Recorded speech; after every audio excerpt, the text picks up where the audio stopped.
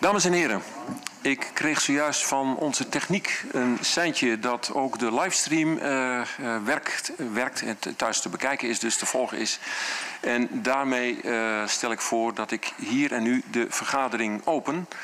Ik verwelkom graag alle kijkers thuis vanuit het hervormcentrum hier aan de Julianastraat. Hè, dus waar we, van waar we uit live te volgen zijn. Natuurlijk ook een uh, warm welkom aan onze insprekers, daarover later meer. En niet te vergeten alle deelnemers aan dit overleg van harte welkom. Ik wil graag met u de agenda vaststellen en uh, die is allen uh, in uw aller bezit geweest. En ik kijk even rond of er behoefte is om daar een aanpassing op te doen. Dat is niet het geval, stellen we al dus vast. Kijk ik met u naar de rondvraagpunten en ik kan u melden dat van de zijde van de fractie van het CDA een tweetal vragen voor de rondvraag zijn gedefinieerd. De eerste gaat over controle of controlemaatregelen aangaande uh, corona. En de tweede gaat over de uh, aanbesteding van Haven Oost. Het zal iets anders uh, luiden volgens de vragensteller, maar ik doe het even uit mijn hoofd en daar gaan de vragen over. Uh, ik stel voor te kijken naar de agenda, uh, agenda punt 2. Vaststellen afsprakenlijst van de commissievergadering van 9 september. Er zijn geen op- of aanmerkingen binnengekomen, dus ik stel vast om de afsprakenlijst vast te stellen. En ik zie dat daar geen bezwaar tegen is, al dus stellen we die vast. Vervolgens gaan we agenda punt 3 uh, ons zorgen maken over de insprekers. En ik kan u melden dat er vanavond uh, uh, een tweetal insprekers is over hetzelfde onderwerp die min of meer gelijktijdig, hoe dat precies vorm krijgt, dat gaan we zo merken. die inspreken over het agendapunt realisatie skatebaan, dat is agendapunt 5. Dat betekent volgens goed gebruik dat we om de insprekers niet onnodig lang te laten wachten, uh, dat agendapunt naar uh, voren halen en vervolgens de agenda zoals die is bedacht en zojuist vastgesteld gaan afwerken. Wel nu, allereerst uh, een korte inleiding op het onderwerp, de realisatie skatebaan. Een groep jongeren in Ommen heeft een plan ingediend voor de realisatie van een nieuwe skatebaan bij Jongerencentrum Punt. Aanleiding hiervoor is dat de huidige skatebaan sterk verouderd is en daardoor gevaarlijk bij gebruik. De groep jongeren heeft aangegeven zich te willen inzetten voor het in kaart brengen van de behoeften onder jongeren en voor het bijdragen aan vernieuwing van de skatebaan. Wijswelzijn heeft contact met deze groep jongeren en ziet de voorziening als een goede mogelijkheid voor het versterken van de sociale samenhang. Dit als inleiding op het agendapunt uh, geef ik graag het woord aan de eerste inspreker en dat is de heer uh, Habekoté. En dat doe ik nadat ik nog even kort uh, ons reglement uh, wat betreft uh, inspraak toelicht. De inspreker heeft vijf minuten de tijd, waarna u de gelegenheid krijgt om de inspreker te bevragen als u daar behoefte aan heeft. Vervolgens hebben we de inhoudelijke behandeling in twee termijnen en tot slot kan de inspreker, als daar behoefte aan is, nog kort reageren op hetgeen is besproken. Wel nu, ik geef uh, de, uh, het woord aan de heer Habekoté en ik laat aan u over uh, op welk moment u het woord overdraagt aan Islin die het samen met u gaat doen als ik goed ben geïnformeerd. U heeft het woord, gaat u gang. Yes, ik uh, ben in ieder geval uh, Jordi Havelding. Ik ben uh, erg dankbaar dat we in ieder geval even langs mogen komen om wat in te spreken. Zoals jullie hebben gezien is er een grote groep jongeren hier voor de deur. Helaas mochten die niet naar binnen. Dat was nog mooier natuurlijk geweest en die het verhaal te laten vertellen. Maar ik ben natuurlijk al hartstikke blij dat Ashley in ieder geval gewoon mee is. Dat hij toch het verhaal namens de jongeren kan vertellen. Want ja, mijn verhaal is eigenlijk niet heel belangrijk hierin. Maar juist het verhaal van de jongeren natuurlijk. Nou, de jongeren hebben ook samen wat gemaakt en daar uh, zal Ashley in ieder geval wat over vertellen. En dan, uh, dan hou ik dat uh, stukje even naar boven, dan kan iedereen het goed zien. En dan overhandigen we dat ook even aan de voorzitter.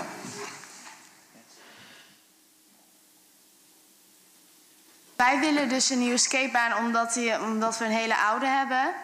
En er is niet zoveel te doen, want je kunt wel te, trucjes doen, maar er zijn ook heel veel andere skatebanen. Dan kun je veel meer doen met stunten en alles. En veel meer dingen zijn er. Want dat van ons is wel een beetje oud. En ja, wordt ook veel gebruikt. En er zitten te veel mensen, dan kun je er niet meer bij. En als mensen gebruiken het ook als chillplek. En dan kun je ook niet meer echt wat doen. Dat is zeg maar en dat is ook inderdaad heel belangrijk, wat ook al benoemd wordt, de sociale samenhang op de skatebaan. We hebben verschillende jongeren die er komen, van jong tot oud. En het komt allemaal bij elkaar samen, wat heel mooi is. Maar dat veroorzaakt natuurlijk soms ook wel eens voor wat probleempjes.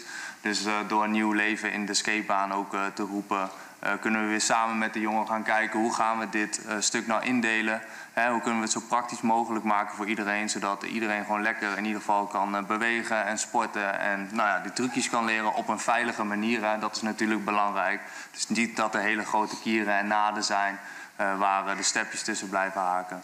Maar ook om te gaan kijken van goh, hoe gaan we het samen doen, hoe maken we er ook afspraken over. Hè? Hoe, hoe laten we de boel achter, hoe zorgen we dat het netjes blijft voor iedereen. En ja, we merken nu al door er veel mee bezig zijn dat ja, dat het, gewoon de sociale contacten en ouders die even langs komen kijken en je hebt een praatje, uh, dat het al uh, een stuk beter wordt. En het zal alleen maar mooi zijn als we dit project natuurlijk samen met, ja, met de bewoners van Om aan kunnen gaan en kijken wat de wensen daarin zijn. Ja, want het is ook best wel gevaarlijk, want er zitten heel veel scheuren in de grond. En er zijn al heel vaak mensen door gevallen. Maar gelukkig niet wat ernstig. Er is niks ernstig gebeurd. Maar je kunt er, als je bijvoorbeeld met de, ik zeg maar wat met de step met de wiel ertussen komt, kun je zo vallen. En dat is ook niet fijn. Daarom is het ook wel fijn om bescherming te dragen nu. Zo, dat lijkt me sowieso ook wel handig als je iets leert. En je kunt ook wel va vaker vallen van als je zeg maar van ergens vanaf wil gaan, zitten er ook scheuren ervoor en dan kun je ook niks doen. Ja. Dus uh, ja, dat is inderdaad, uh, zijn in ieder geval de belangrijkste punten. En uh, ja, we horen graag als er zo nog wat vragen zijn. We blijven nog even. En dan zal Ashlyn dit mooie kunstwerk die we samen ook met de jongen hebben gemaakt overhandigen aan de voorzitter. Ja.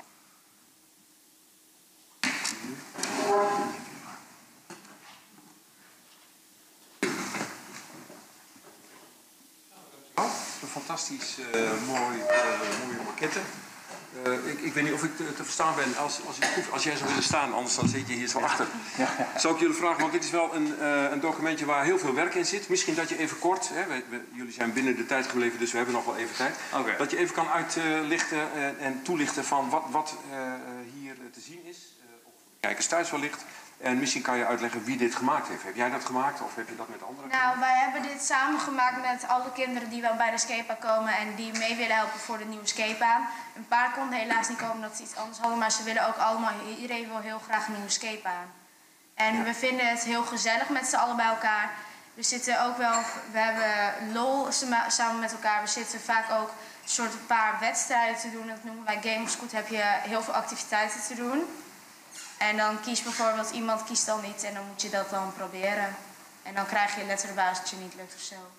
En dit was een beetje het brainstormformulier. Hè? Wat hebben we allemaal nodig qua elementen? Ja, iedereen kon hier zijn wensen opschrijven. Ook uh, wat plaatjes erbij uitgezocht. Dus ja, het is gewoon een soort van uh, collage geworden van uh, ja, de, de, dingen die ze in gedachten hadden, wat er, wat er moest komen. En het lijkt me mooi om dit mooie kunstwerk straks op papier samen met de jongeren waren we ook van plan om dat anders te doen. Want, we hebben, want iemand uh, die ook heeft meegeholpen, die heet Ida, die heeft ook iets in de app heeft hij ook wat gemaakt hoe hij wil dat het eruit ziet. En dat is ook op zich heel leuk hoe het eruit zag. Mm -hmm. En heel veel kinderen vonden het ook mooi. Ja. Nou, ik moet zeggen, ik, ik vind dit ook heel erg mooi. En wat jullie zojuist al inbrachten, hè? jij kan lol hebben, het is gezelligheid, sport, trucjes, uh, leren. Uh, het, het, bevat wel ongeveer de elementen die jullie hebben aangedragen om uh, deze groep mensen te, te, te, uit te leggen wat jullie wens is en waarom dit uh, zo nodig is. Ogenblikje. dit hoort er niet bij, dat snap je wel, dus ik stel voor dat we dit eruit knippen. Uh, nou, we moeten door met de vergadering. Ik neem yes. het heel graag in ontvangst. En, uh, dank jullie de jongeren in ieder geval. Ja, dat snap ik. Hartelijk dank voor alle moeite en voor jullie toelichting. En dan gaan we nu met elkaar praten over hoe het uh, verder gaat met de skatebaan. Yes. Oké? Okay?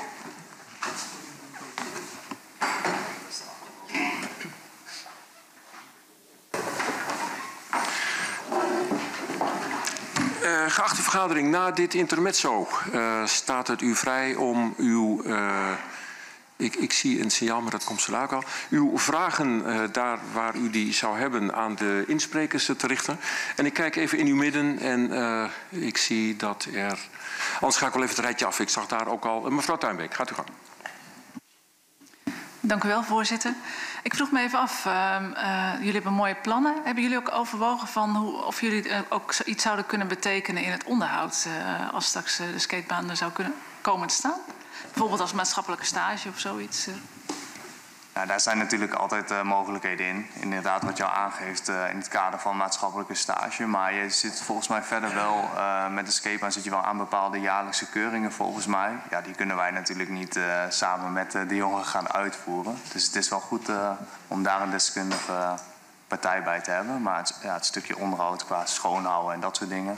Ja, daar willen we zeker ook over na gaan denken in, in de plannen straks. Zeker. Dankjewel. Uh, ik ga door naar de fractie van de VOV. Meneer De Jonge, gaat u gang. Ja, voorzitter, een beetje van hetzelfde. Alhoewel ik bij punt 3 heb gelezen dat beheer en onderhoud uh, en de inspectie bij ons uh, zou kunnen vervallen als het doorgaat. En nou ja, goed, ik hou jullie nog even in spanning misschien wat het allemaal de uitslag zou worden. Maar waar, waar ik wel nieuwsgierig ben van of er toch een stukje vorm van eigen beheer kan, kan zijn. Dat jullie het eigenaarschap krijgen, maar ook een stukje toezicht. Want je ziet in hele grote gemeentes dat er dikke camera's hangen om publiek te weren die er niet thuis hoort. En weet ik dat, dat publiek hebben wij hier in Hommel gelukkig niet. Maar uh, ja, een van de voorwaarden die ik zou kunnen voorstellen is overlast in de buurt. En dat moeten we ook zien te voorkomen. Dat daar hangjongeren of andere soort dingen gaan plaatsvinden. zijn jullie in staat om daar zelf een stukje toezicht te houden. En ook om de jongeren die daar niet thuis horen of andere dingen in de hoofd hebben om daar te doen dan skaten. Om die erop aan te spreken, spreken en te weren. Ik denk zeker dat wij uh, een klein stukje toezicht inderdaad kunnen doen. Nou, een klein stukje. Wij, uh, ik kijk vanaf mijn bureau op de skatebaan. Dus uh, ik ben daar vier, vijf dagen in de week en ook s'avonds regelmatig. Dus ja, toezicht houden we zeker. We zijn ook vaak wel met de jongeren in contact ook, die er zijn. Ze komen ook bij ons binnenlopen als er eventueel wat gebeurt op de skatebaan. Ehm, we zijn geen handhavers, maar we vinden het wel belangrijk om straks hè, bij een nieuwe skatebaan en nieuwe, uh, het nieuwe plan wat er is, om wel duidelijk uh, afspraken ook te gaan maken met de verschillende groepen jongeren die er natuurlijk uh, kunnen komen. en als die afspraken er ook liggen, om ze misschien op een bord of iets, hè, noem maar wat op, daar op te hangen, zodat je ook altijd weer kan wijzen naar de afspraken van goh, hey, jullie hebben een hele mooie skatebaan gekregen, maar hou je wel ook even aan de afspraken. Uh, en we vinden het natuurlijk wel belangrijk om daarin ook de politie ook mee te nemen natuurlijk. Uh, niet dat we willen dat die uh, dagelijks gaan aanrijden of wat dan ook. Maar het is ook wel, uh, denk ik, van belang dat die ook een klein oogje in ieder geval in het cel houden. Dus, dus qua toezicht, ja, zeker zijn wij daar toe bereid. Dankjewel. Ik stel voor dat ik me even het rondje af ga en kijk. Mevrouw Wenners, fractie D66, gaat u gang. Dank u wel. Um, ik hoorde jullie er druk mee bezig zijn en jullie het ook gaan doen of willen gaan doen. Blijft het ook een openbaar karakter houden voor de uh, jongere jeugd die er nog langs loopt of misschien wat wil spelen als een soort speeltuinidee? Dus dat het niet alleen vooruit de jongeren van uh, wijswelzijn is. Ja, ik denk zeker dat het ook belangrijk is om uh, inderdaad, ja, zie ik het meer als nieuwe aanwasjongen, zeg maar, die uh, willen gaan proberen, misschien gaan skaten of wat dan ook. Uh, kijk, we kunnen altijd kijken of we, of we clinics of iets kunnen gaan organiseren om de jeugd ja, te leren kennismaken met bijvoorbeeld het skaten. er zullen altijd jongere kinderen zijn die, die bijvoorbeeld wel op een halfpipe gaan zitten of wat dan ook. Ja, dat moet volgens mij ook gewoon kunnen. Maar als je daar gewoon met z'n allen, denk ik, duidelijke afspraken ook gewoon over maakt. En uh, elkaar daar misschien ook op durft aan te spreken. Van goh, uh, kun je misschien heel even ergens anders gaan zitten, want ik wil even hier uh, skaten. Dan moet dat volgens mij geen problemen veroorzaken. En ja, het is sowieso belangrijk dat, dat iedereen gewoon welkom is en zich veilig voelt op de skatebaan. Dus dat iedereen daar gewoon lekker naartoe kan gaan en zijn ding kan doen. Ja, en wat mij betreft hoeft dat niet alleen skaten te zijn natuurlijk, maar uh, misschien wil er ook wel iemand een keer stoep krijten. Ja, er ligt beton, dus uh, maak een mooie tekening denk ik. En dan uh, is het ook weer mooi opgefleurd denk ik dan maar. Dank voor je antwoord. Ik kijk even verder rond en ik zie meneer Smits. Klopt dat? Gaat u gang. Ja, dank u wel voorzitter. Um, in mijn jonge jeugd heb ik dit zelf ook gedaan. Ik woonde, het voordeel was dat ik op een helling woonde, dus ik kon altijd een heel eind skaten.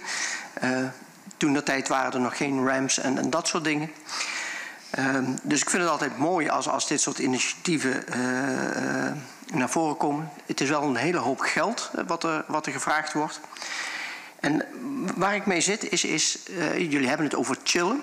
En we hebben niet echt in, in, die hoedanigheid daar een chillplek uh, open. Hè, wel binnen bij jullie, bij wijze wel zijn. Maar is daar dan, bestaat daar dan geen behoefte aan om een overdekte iets te hebben waar jullie ook gewoon droog kunnen zitten bij nat weer? Uh, ja, ik uh, vind het wel een wat lastige vraag natuurlijk. Want uh, als je daar een afdakje of iets gaat plaatsen met bijvoorbeeld wat bankjes, dan heb je daar natuurlijk een hele mooie chillplek inderdaad ook. het zal fantastisch zijn overigens voor de wat oudere jongeren. Maar ja, het, ik denk wel dat het belangrijk is om een zitgedeelte ergens te creëren. En of dat met een afdakje is, nou, dat zou super zijn. Daar zullen de meeste jongeren heel blij, denk ik, mee zijn. Maar zonder afdakje, ja, daar zijn ook wel weer oplossingen voor te vinden. Kijk, we kunnen natuurlijk ook niet ervoor zorgen dat de hele skatebaan straks onder een afdakje staat. Dus ja, als het regent, dan kun je nou eenmaal gewoon wat minder goed skaten. Dat is nou het enige nadeel wat er is. Anders moeten we op zoek denk ik, naar een indoor plek of iets.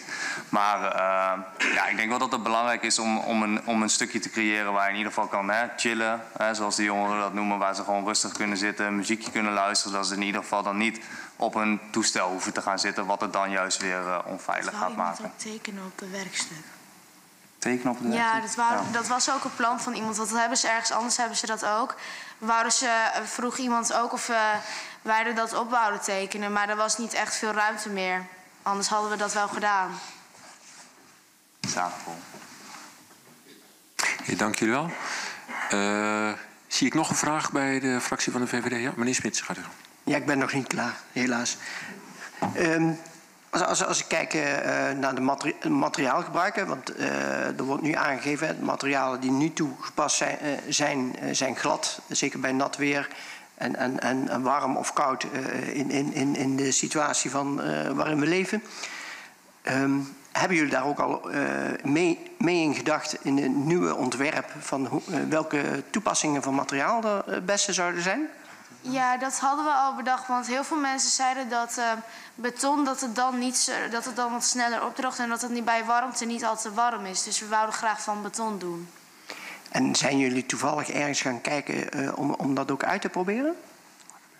In Hardenberg. Okay. dus dat zijn jullie wel. Oké. Okay. En uh, even kijken.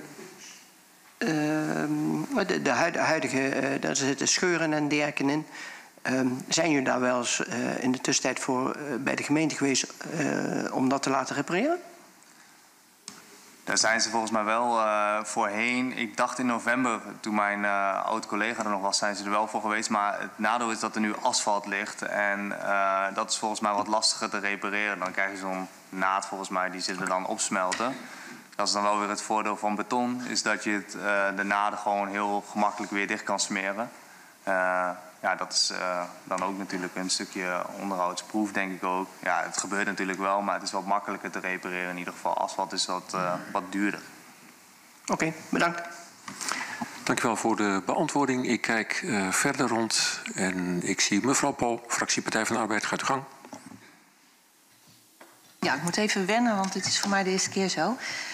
Um, ik heb een offerte gezien en dus een, eh, een ontwerp voor een betonskatebaan. Um, ik vroeg me af in hoeverre er niveauverschil is. je hebt natuurlijk kinderen die net beginnen, die heel jong zijn misschien. En uh, wat gevorderde. En blijft dan voor de gevorderde uitdaging er wel? En is dan voor de beginneling ook uh, genoeg speelruimte om daar het skaten te leren? Nou ja, het uh, ontwerp is eigenlijk een voorbeeld uh, van een andere skatebaan die al is gebouwd uh, door een bedrijf. Die hebben gezegd van hoeveel vierkante meters hebben jullie, dan kunnen we ongeveer laten zien wat we jullie kunnen bieden voor, voor de vierkante meters die je hebt. Ik denk dat het vooral inderdaad ook belangrijk is om de verschillende niveaus ook mee te nemen inderdaad in het ontwerp straks. Dus dat je voor ieder wat wils natuurlijk op de skatebaan hebt in verschillende gradaties. Dus uh, het ontwerp is meer een voorbeeld wat er gewoon bij zit. Uh, en ik denk dat het vooral belangrijk is om samen met de skaters uh, te gaan kijken, met de steppers te gaan kijken. Welke elementen vinden jullie nou belangrijk voor de skatebaan?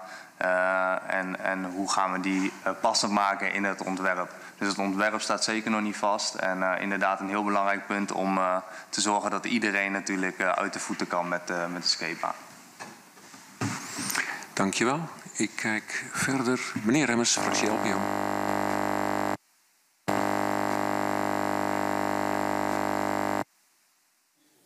Ik durf niet, voorzitter. Het gaat beter, meneer Remmers, zie ik, als het uh, knopje uit is. Uh, misschien dat, dat u een andere microfoon die niet die brom geeft uh, kunt gebruiken. Gaat u ja. gewoon. Dank u wel. Deze zonder piep. Ehm, ja, uh, toen ik hierheen fietste maakte ik me nog zorgen over het draagvlak. Nou, toen ik buiten aankwam uh, was dat in ieder geval uh, snel weggenomen. Dus dat was alweer een groot voordeel. Dus ik ben blij dat er zo meegedacht is en geparticipeerd is in de totstandkoming. Ehm, maar in het raadsvoorstel wordt nogal wat nadruk gelegd in mijn optiek. En die vraag zal ik straks waarschijnlijk ook aan de wethouder stellen. Over die toegankelijkheid. En dat dat dus een grote verbetering moet zijn ten opzichte van de huidige situatie. Nou zitten hier de mensen uit de praktijk. Dus ik was even benieuwd van, het speelt zich een beetje buiten mijn gezichtsveld af blijkbaar. Maar blijkbaar gebeuren daar nu dingen die het niet toegankelijk maken. En ik was even benieuwd of ik daar iets meer over kan horen. Tot zover, voorzitter. Uh, dat klopt inderdaad. En uh, dat zijn ook uh, twee verschillende dingen waar we ook mee bezig zijn. Waar aan de ene kant zijn we met de, met de jongere groep, maar ook wel met een deels met de oudere groep ook bezig om er weer een hele mooie nieuwe skatebaan van te maken. Aan de andere kant, hè, het puntje afspraken, wat we ook al eerder hebben benoemd hier, is ook heel belangrijk om mee te nemen in dit stukje. Uh, dus we willen ook graag inderdaad met de jongeren die op dit moment bij de skatebaan zijn en die daar chillen, uh, om daar heel duidelijk ook gericht afspraken mee te maken van goh, hoe gaan we nou met elkaar om? Wat gebeurt er wel, wat gebeurt er niet? Uh, en aan de hand daarvan ook inderdaad die uh, nou ja, regels, klinkt misschien wel weer, laten we de spelregels van maken. Om die op te stellen en dan die ook daar in het zicht op te hangen. dan kan iedereen elkaar erop aanspreken. Is misschien soms wel wat lastig. Maar wij zijn er ja, vijf dagen in de week zijn wij daar aanwezig. Uh, dus wij zullen ook zeker daarvoor een oog in het zaal. En voor de rest is het ook heel belangrijk om inderdaad uh, ja, goed ook met alle jongeren daarover in gesprek te gaan. En dat zal niet één gesprek zijn, dat zullen misschien wel vier, vijf gesprekken worden. met verschillende groepen jongeren. Want het is niet één groep, maar het zijn verschillende groepen jongeren.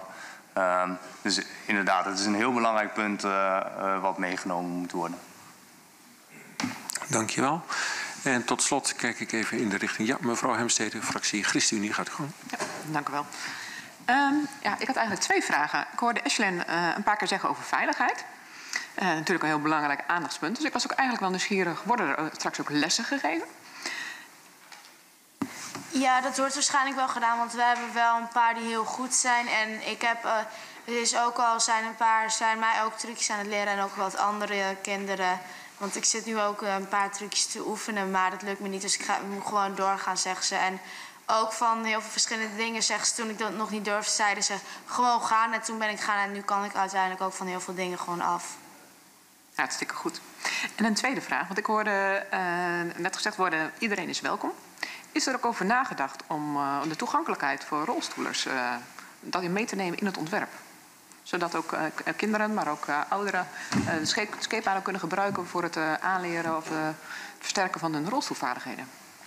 Ik denk dat je dat zeker sowieso kan meenemen in het ontwerp. je hebt, wat je ook al net ook al naar voren kwam, verschillende gradaties. Als je misschien de wat lagere gradaties daarin meeneemt, dat ze daar bijvoorbeeld met de rolstoel ook bijvoorbeeld overheen kunnen. Um, dus ja, ik denk zeker dat dat zeker meegenomen kan worden in het plan. Uh, ik denk juist dat het belangrijk is dat je zoiets uh, daarin uh, ook gewoon meeneemt. Zeker. Ja.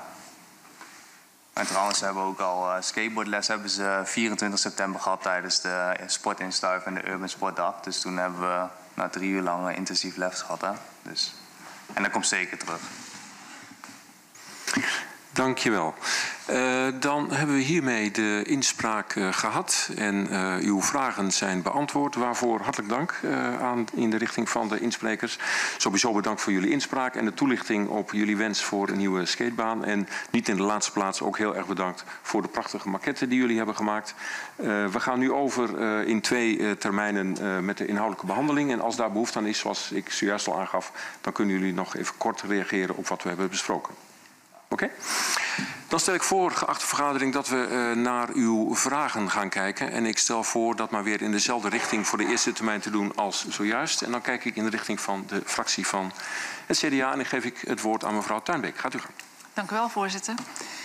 Het CDA is blij met het initiatief dat vanuit de jongeren zelf wordt opgepakt.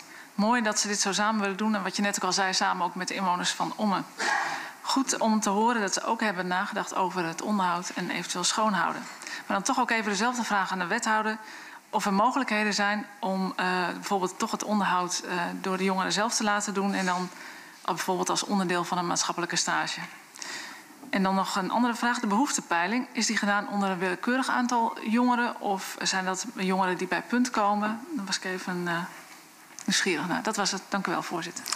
U bedankt. We gaan naar de fractie van de VOV. Meneer De Jonge. Ja, voorzitter, dank u wel. Nou, in principe een prachtig initiatief. Hè? Want als uh, de huidige skatebaan kapot is, dan moet je hem vernieuwen. En dan moet je gelijk goed doen, zeg ik altijd maar. Uh, en dat is heel mooi dat er nu uh, brede draagvlak is. Ik herinner me dat dit niet de eerste keer is dat er een verzoek is binnengekomen om de skatebaan aan te pakken. Dat was volgens mij rond 2010 ook al een keer.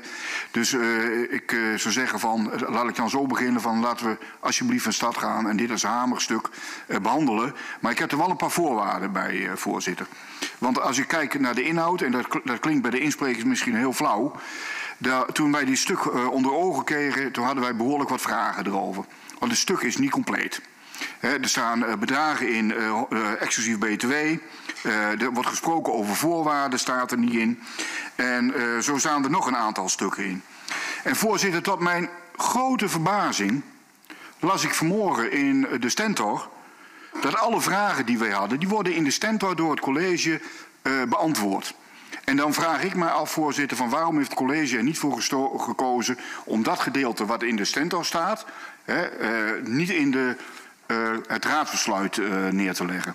Dus mijn voorstel is om in ieder geval het raadsbesluit voor de commissievergadering aan te passen op de onduidelijkheden, hè, de, de BTW, de randvoorwaarden precies te omschrijven waar die vandaan komen. Hè. En uh, uh, nou ja, bijvoorbeeld ook iets over de, wat net gesproken is, over de huisregels uh, op te stellen. Van hoe gaan we daarmee om? He, want handhaven, meneer, die gaf het al aan, handhaven is niet het werk van, uh, van wij welzijn, maar daar hebben we handhavers voor. En dat moet wel te handhaven zijn. He, dus ik, ik zou zeggen, ja, daar moeten we misschien iets in de APV voor aanpassen. Geen alcohol, geen drugs, of, of de, ik noem maar wat. Want ja, de risico's sluit ik in ieder geval ook niet uit. Dus dat zou ik graag willen hebben voorzitter. En ja, wat ik ook las, want dat was ook een van mijn vragen. Wat gaan we nu doen met die oude toestellen? Hoe voeren we die af? Wat kost dat? Uh, uh, wat gaan we ermee doen? Kan dat hergebruikt worden?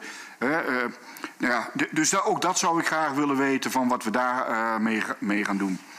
Voorzitter, tot slot.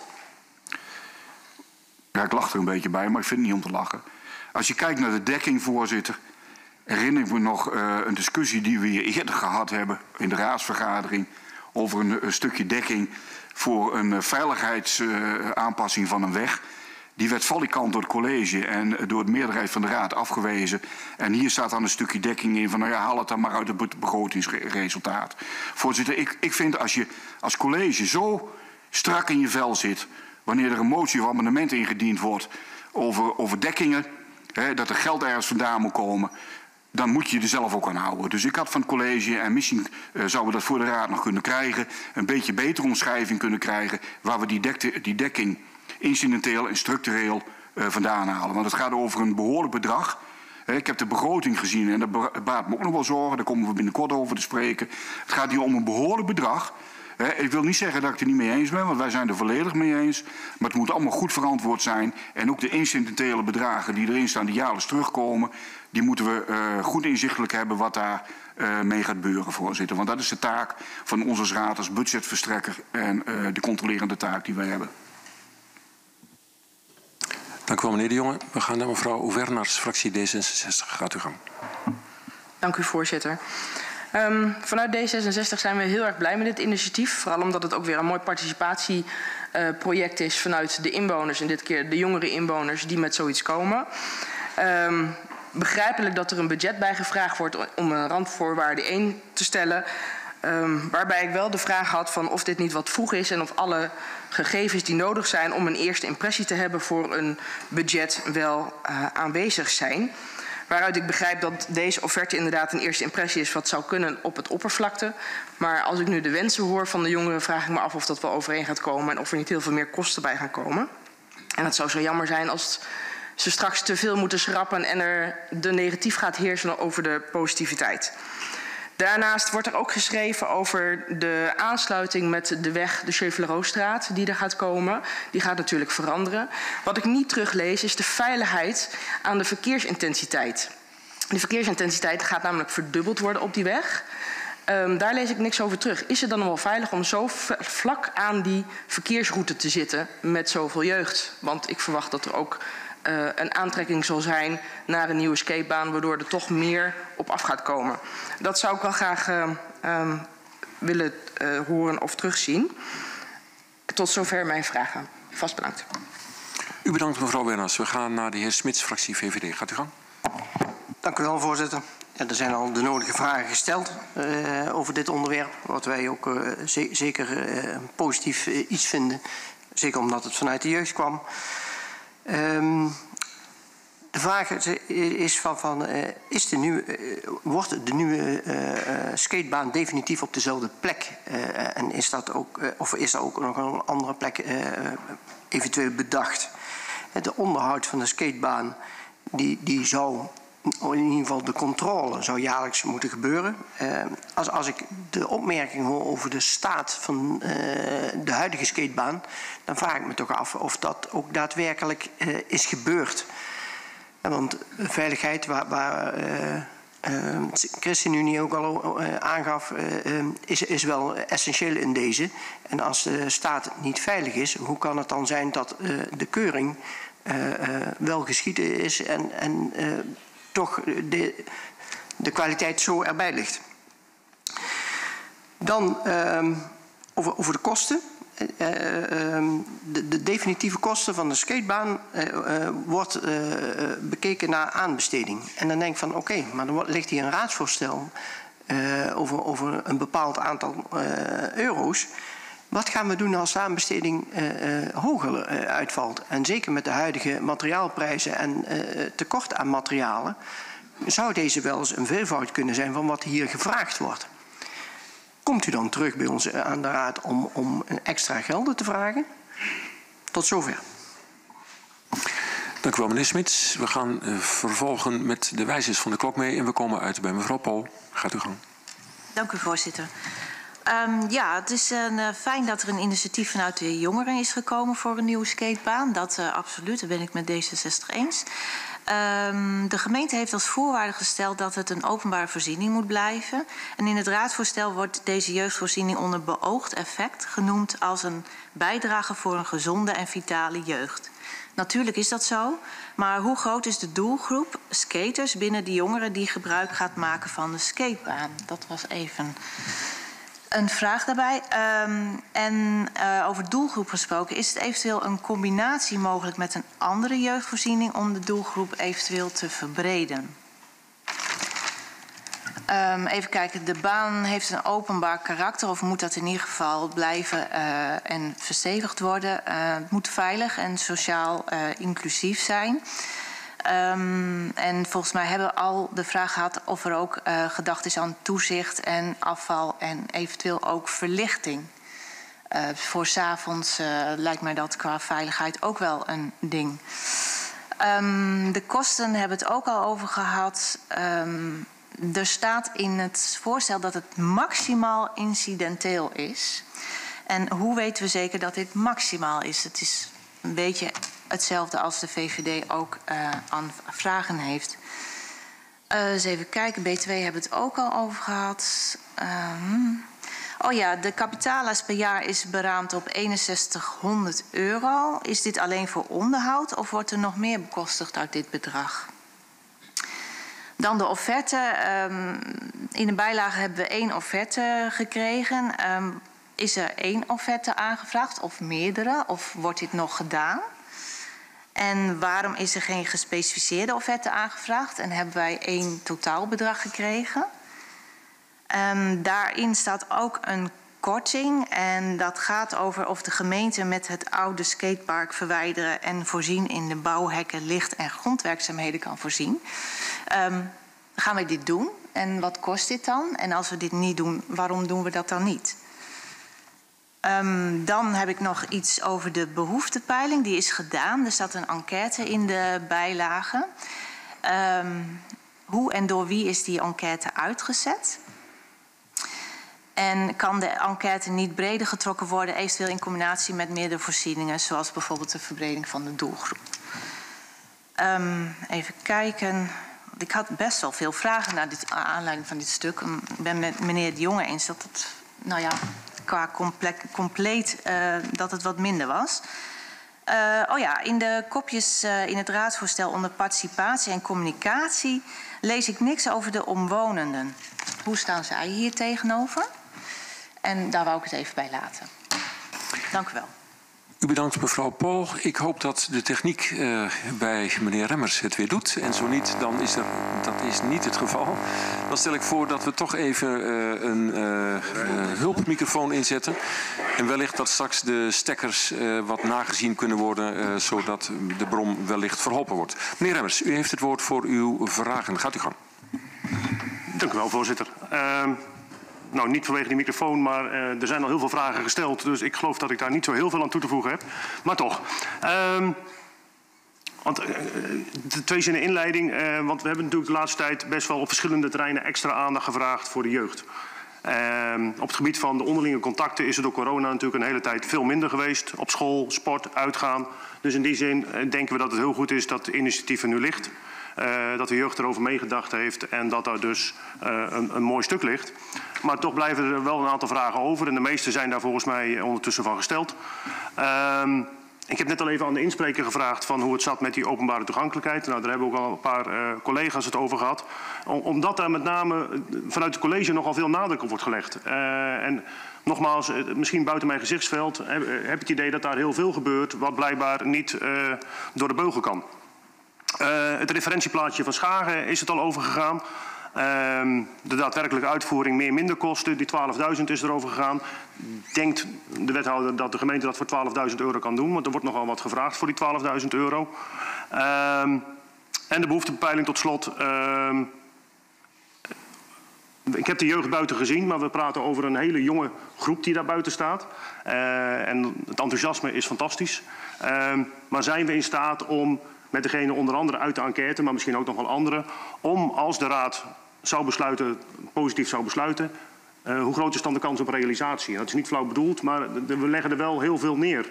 We vragen ook heel veel van ze en overvragen we niet. Tot zover, voorzitter. Dank u wel, meneer Remmers. Ter afronding van de eerste termijn kom ik bij mevrouw Hemstede, fractie ChristenUnie. Gaat u gang. Dank u wel, voorzitter. De jeugd heeft de toekomst.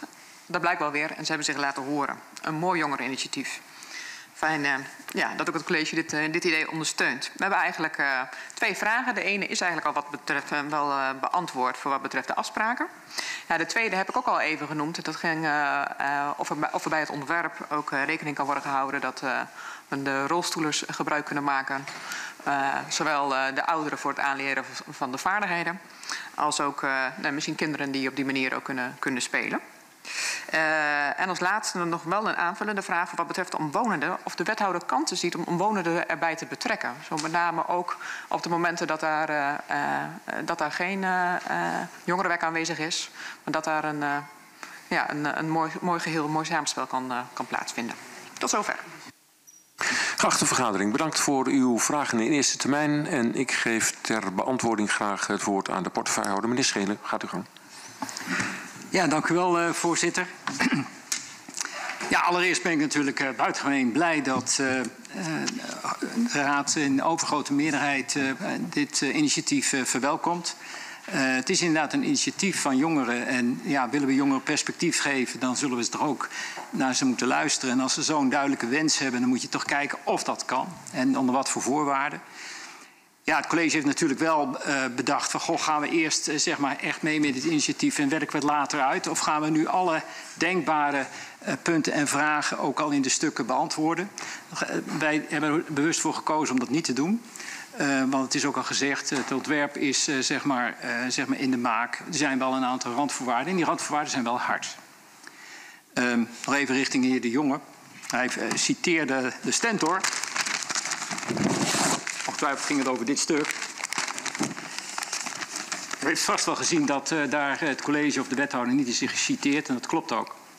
Kijk alleen al naar de kop. Gloednieuw skatepark om de overlast te beteugelen. Dus een idee van de gemeente om de overlast te beteugelen. Dat is dus tweevoudig niet juist. A, het is geen idee van de gemeente. Het is een mooi idee van de jongeren. En twee, het is niet om de overlast te beteugelen.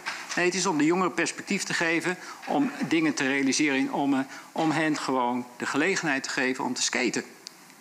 En ja, natuurlijk, de gemeente heeft wel de plicht om te kijken naar wat zijn eventuele neveneffecten. En ja, we weten ook best wel dat op die plek er ook wel eens overlast is. En dus ja, gaan wij ook wel wat voorwaarden stellen om dat op een goede wijze te reguleren. Zo zit het in elkaar. Niet anders. Dat even in algemene zin. Mevrouw Tuinbeek, uh, is het mogelijk om de jongeren te betrekken bij het onderhoud? Ik denk dat ze, ze zelf al aan hebben gegeven van dat het wel een beperking heeft, hè, omdat er officiële inspecties bij nodig zijn. Maar ze hebben ook al zelf aangegeven dat ze mogelijkheden zien voor het onderhoud. En ik neem het graag op me om in contact uh, met, met de scholen te kijken of dat in te passen is bij de maatschappelijke stages. Ik heb al wel begrepen dat daar in beginsel mogelijkheden voor zijn. Dus dat gaan we zeker oppakken. Tweede punt was de behoeftepeiling. Ja, dat is begonnen met een, een kleine club binnen de, de punt. En zoals mooi, ja, dat vond ik heel mooi om te zien via mond-op-mond reclame werd het steeds breder verhaal. En, en ik moet ook zeggen dat ik erg blij was met een eenduidig verhaal vanuit de jongeren. Want er is ook wel eens sprake van geweest op die plek. Dat was ten tijde van de totstandkoming van de sporthal, al een paar jaar geleden, om er eventueel een pannaveld te organiseren. Nou, en het is toch duidelijk dat uh, een brede, uh, brede wens van de jongeren was. 60 uh, jongeren in totaal in eerste instantie. Die zeggen nee, we willen daar die skatebaan opnieuw hebben. Dus dat lijkt, me, lijkt me duidelijk. De heer De Jonge die wees er wel terecht op dat dit eigenlijk al een langer ja, durende discussie is vanaf 2010. Dat, dat is absoluut waar.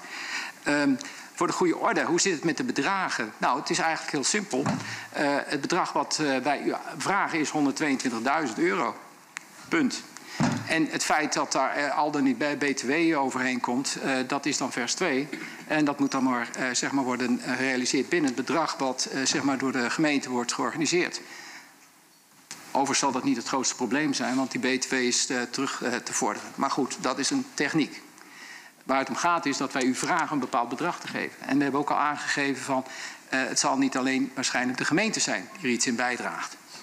Want eertijds, bij de totstandkoming van de huidige skatebaan, dat is al meer een tijdje geleden, waren de bedrijven bereid en in staat om ook weer bij te dragen. En uiteraard worden die ook betrokken in het nieuwe project. En we hopen ook op hun bijdrage. Nou, de bedrijven om een beetje bekennende denk ik dat het best wel een goede kans is.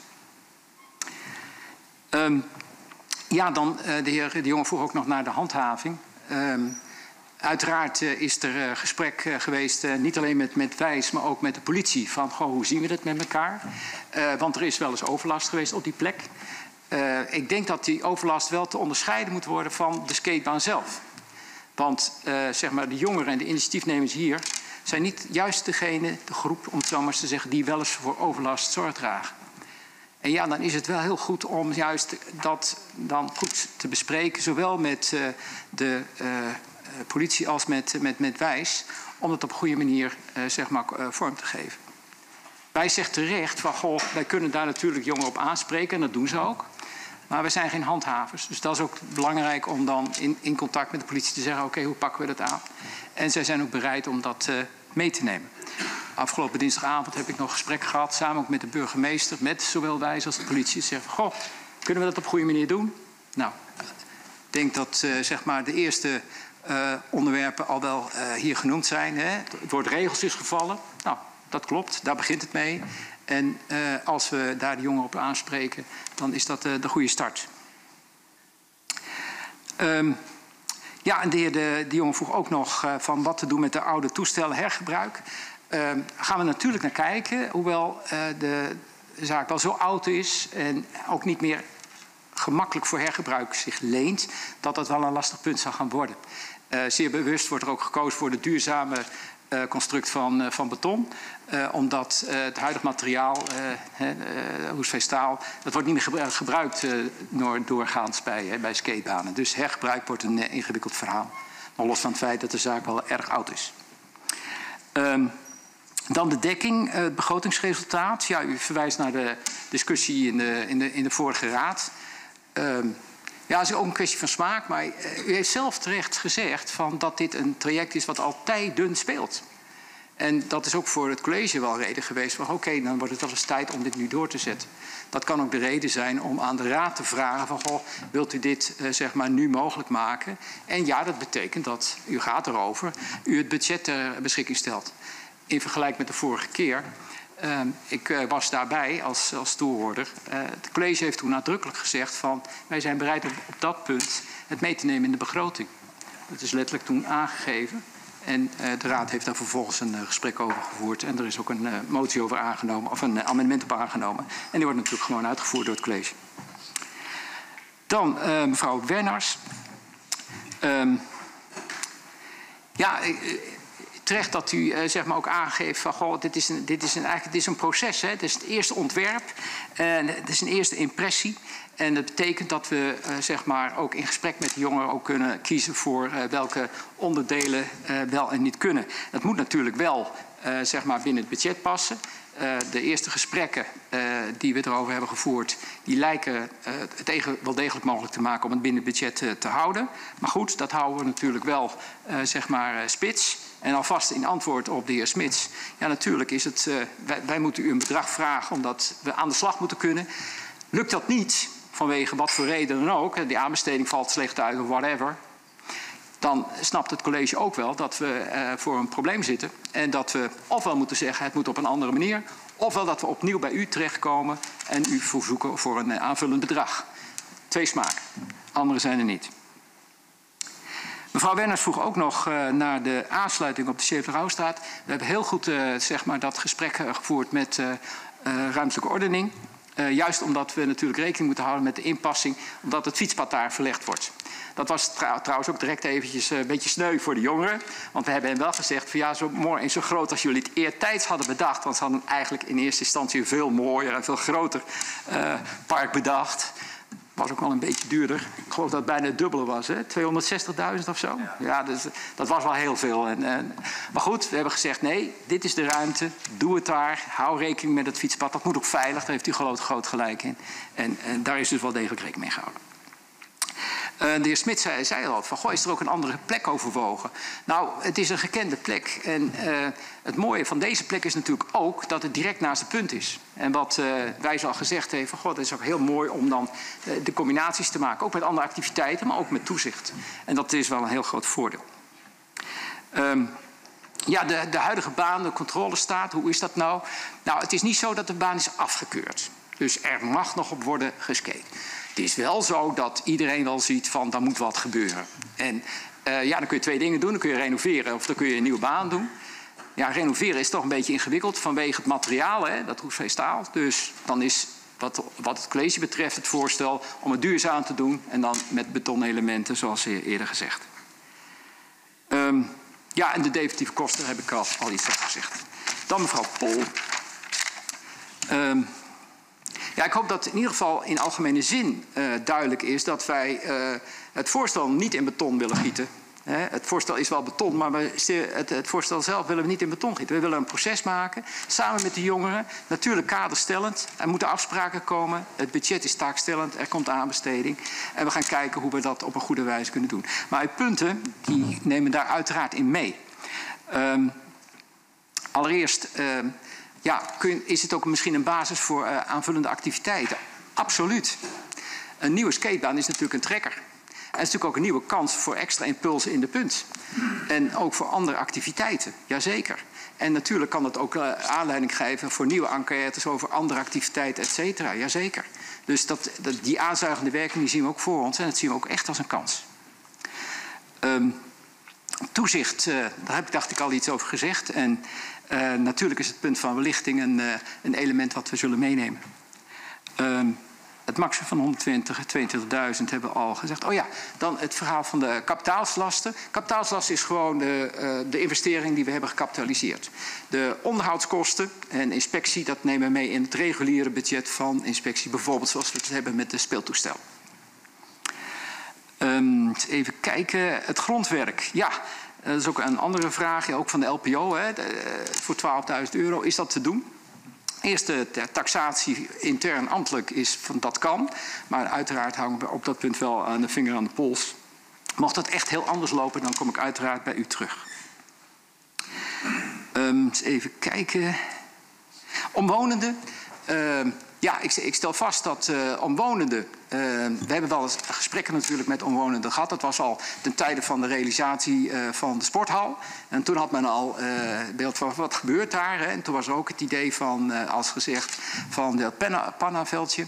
Nou, uh, ook omwonenden hebben toegezegd van nou, uh, verander maar niet te veel. Hè, dus indirect was daar het verhaal van uh, hou die skatebaan daar maar als je dan toch daar iets wil. Maar het spreekt voor zich dat als het gerealiseerd zou kunnen worden, dat we ook het gesprek met de omwonenden gaan zoeken. En natuurlijk geeft het ook gelegenheid om verder afspraken te maken. Kijk, deels zijn de omwonenden ook de ouders van de kinderen die daar zijn. Hè. Dat zijn natuurlijk ook kansen. Dan de LPO, dus de ja, in ieder geval ook blij met, met die extra aandacht. De openbare toegankelijkheid. Uh, ja, ik denk dat we het uh, niet sterker moeten maken dan het is. Maar het is wel eens voorgekomen dat kinderen die daar kwamen en niet regulier bij de punt waren, dat die werden geweigerd. Of gepest, nou geef het een naam. Nou, daar is inmiddels goed over gesproken. was voor het college wel reden om te zeggen van nou, we maken huisregels, we maken dingen. Het is een openbaar toegankelijk verhaal dat is wel iets wat vaststaat. En ik begreep ook al na de inspraak van dat daar ook uh, goede aandacht voor is.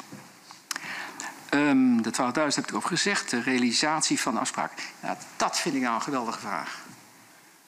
Vragen we niet te veel? Ik denk dat we dat inderdaad ook uh, zeg maar onszelf moeten afvragen. Vragen wij niet te veel van de jongeren in die afspraken? Ik denk dat dit wel verantwoord is. Want we proberen hen mede verantwoordelijk te maken, mede eigenaar te zijn. En het extra voordeel daarvan is natuurlijk dat ze zich zo verantwoordelijk weten dat ze inderdaad ook mee helpen om de zaak daar schoon te houden. En dat ze ook, eh, zeg maar, en dat vond ik heel, heel mooi om te zien, dat ze elkaar ook eh, zeg maar, leren van wat de kunstjes zijn en dergelijke. En nou ja, als we dat met elkaar weten te bewerkstelligen, dan hebben we natuurlijk wel uh, iets gedaan. Maar ja, er is wel een grens aan wat je aan die jongeren kunt vragen. En dat, dat zien wij ook wel. Um, Ten slotte de ChristenUnie. Uh, ook daar over de afspraken. Het punt van de gehandicapten, dat is ook al uh, beantwoord door de insprekers. Dus dat gaan we zeker meenemen in het ontwerp. We hopen dat dat mogelijk is. En de omwonenden, als gezegd, gaan we erbij betrekken. Tot zover, voorzitter. Dank u wel, portefeuillehouder, voor de beantwoording uh, van de vragen in eerste termijn. En of dat in voldoende mate heeft uh, plaatsgevonden, gaan we in tweede termijn na. Ik stel voor dat in uh, omgekeerde volgorde te doen. En dan komen we uit bij mevrouw Hemstede van de ChristenUnie. Gaat u gang. Daar is geen behoefte. Meneer Remmers, niet. Mevrouw Pol. Ja, u heeft een vraag. Gaat u gang. Nou, een vraag in zoverre een vraag van een, van een vraag. Want um, in, in het raadsvoorstel staat over de 122.000 euro... dat dat maximaal incidenteel is. Met andere woorden, we kunnen het niet overschrijden. En we willen het denk ik ook niet overschrijden. Dus uh, als u later terugkomt met weer een uh, kredietaanvraag, dan denk ik niet dat daar maximaal moet kunnen staan. Dank u wel, mevrouw Pol. Ik ga door naar de fractie van de VVD. Meneer Smits, gaat u gaan.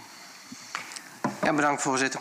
De, de, de portefeuillehouder had het over BTW uh, die teruggevorderd kan worden. Maar volgens mij kunnen wij als gemeente geen BTW te, terugvorderen. Als ik, niet, als ik uh, voldoende geïnformeerd ben. Er schijnt wel een compensatieregeling te zijn. Of de portefeuillehouder daar nog even iets over kan zeggen. Tot zover. Dank u wel, meneer Smits. Ik kijk, ja, mevrouw Wenners, gaat u gaan.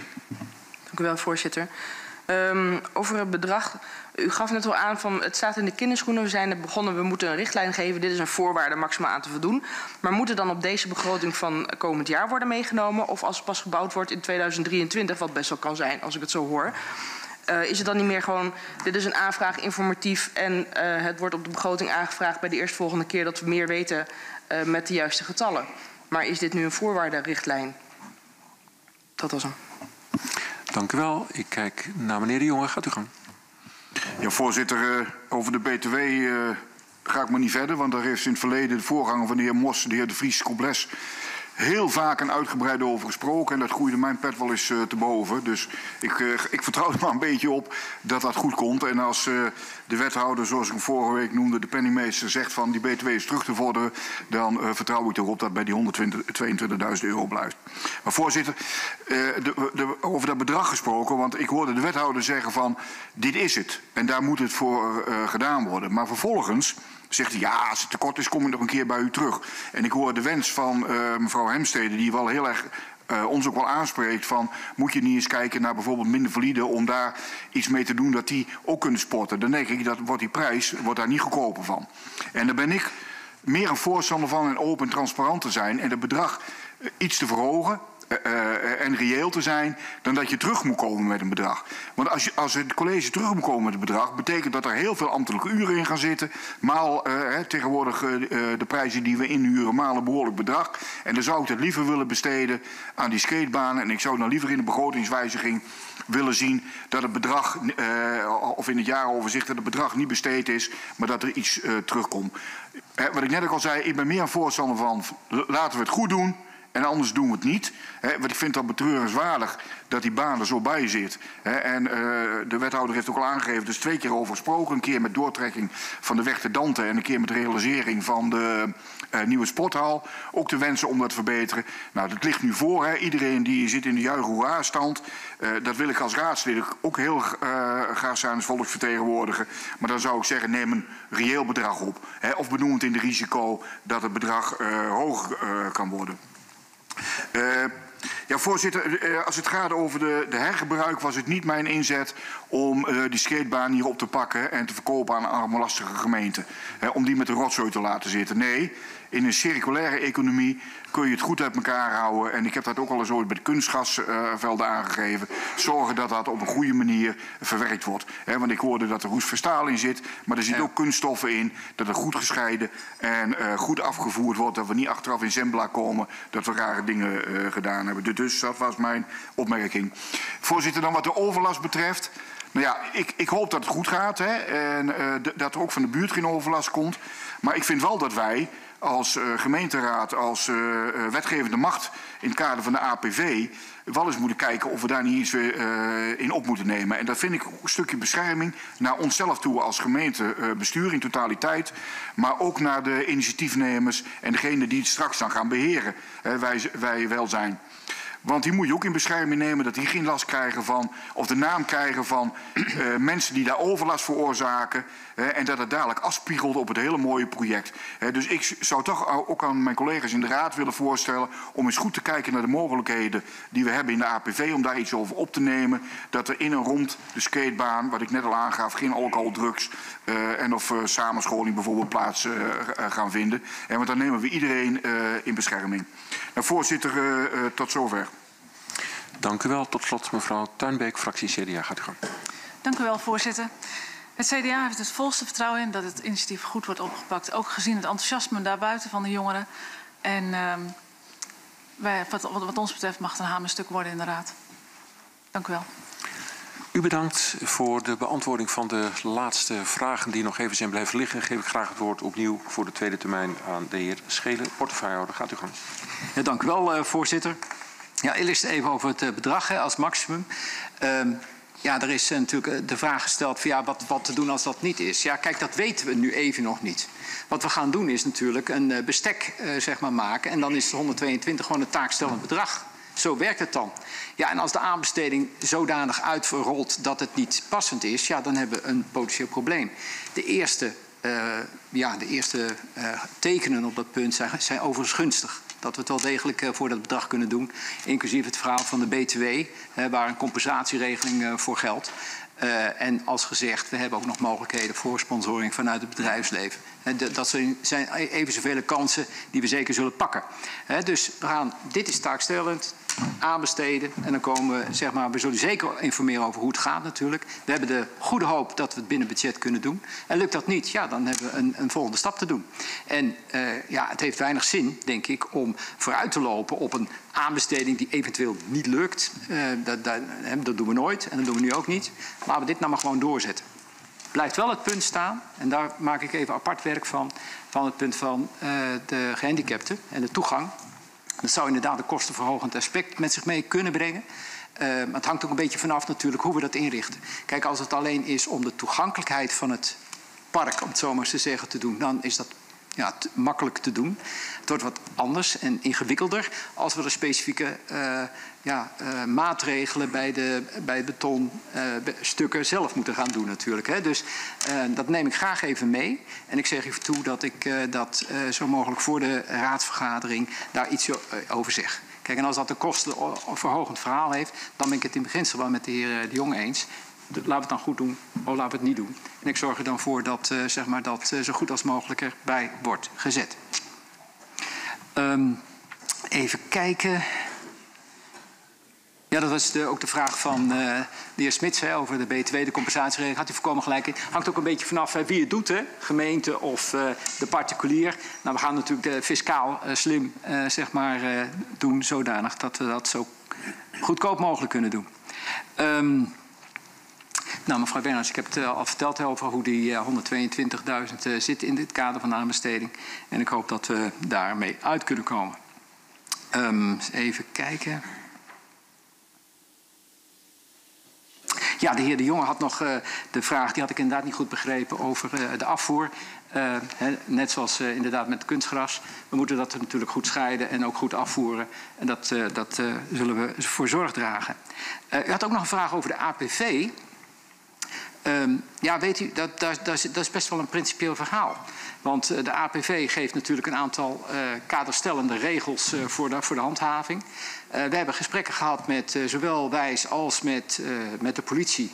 En die geven aan dat op zichzelf genomen het regelbestek op dit moment voldoende is voor een en ander. Dus wij zien niet direct aanleiding om dit te doen. En wat u voorstelt is, en dat is wel een hele specifieke, is dan om het gebiedsgericht uh, te gaan doen. En dat is wel een weg waar u zichzelf over moet afvragen van is dat verstandig om te doen of niet. Dat, uh, goed, dat, de burgemeester is daar portefeuillehouder van, die weet er nog meer van als ik.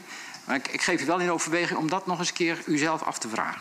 Tot zover. Ik, ik, zie de behoefte aan een interruptie bij de heer De Jonge. Gaat u gang. Ja, voorzitter, de opmerking was ook niet uh, direct gevraagd van passen de APV aan, maar daar, daar gaan wij als raad over. Uh, ik hoor wat er gezegd is hè, en ik zou dan wel graag uh, in, in een raadsbrief willen zien van hoe de handhavers daar, te, daar tegenaan kijken.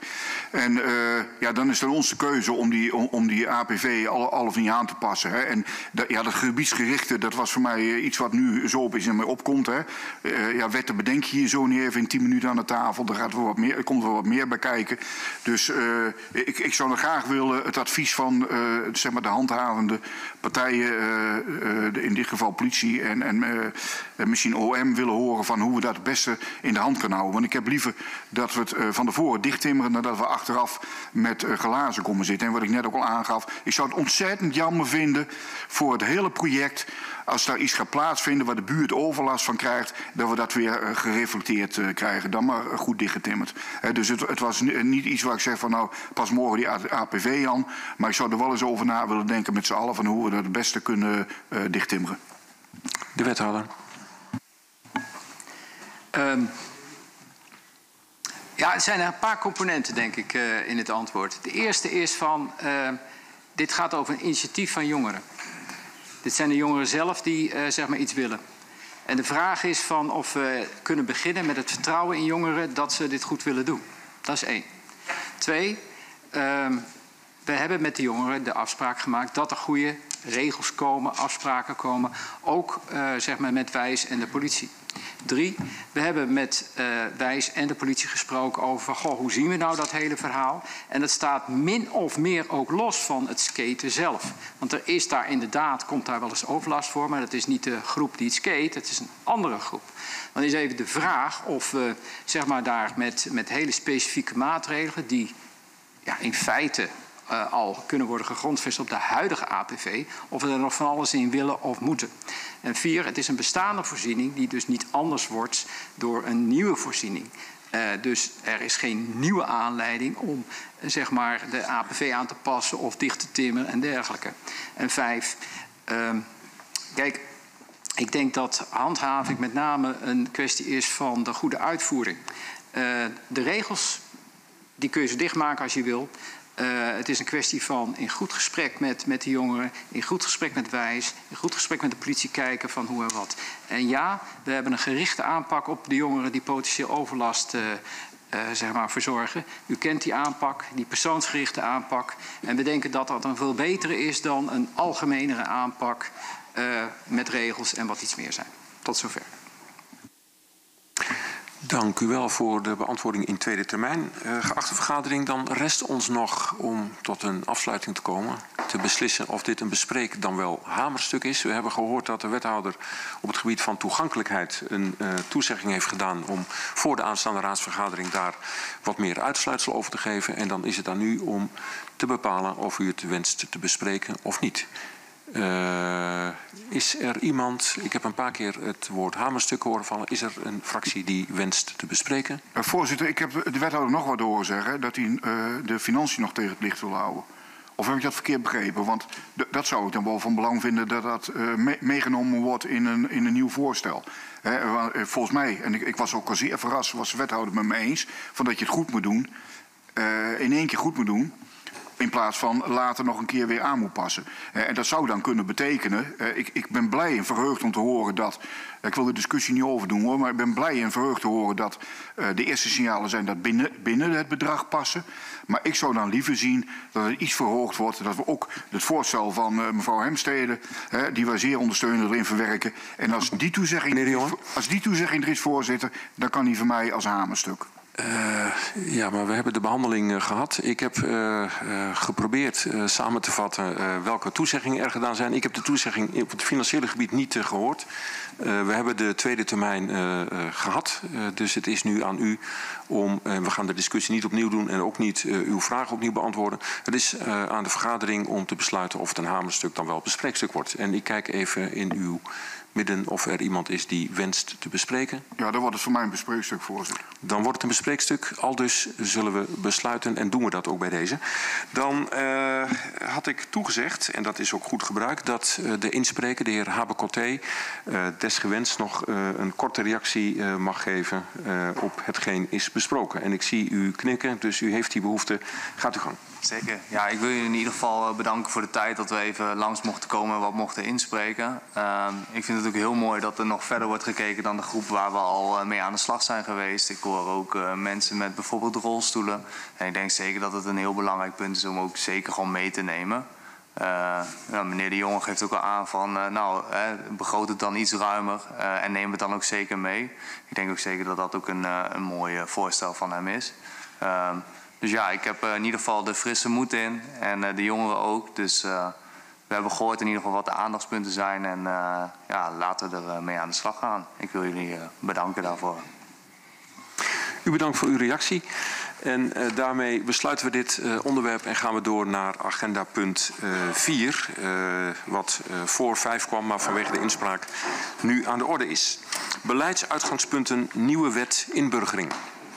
Als inleiding op het agendapunt. Op 1 januari aanstaande gaat de nieuwe wet inburgering in en wordt de gemeente verantwoordelijk voor de inburgering van onze inwoners met een inburgeringsplicht.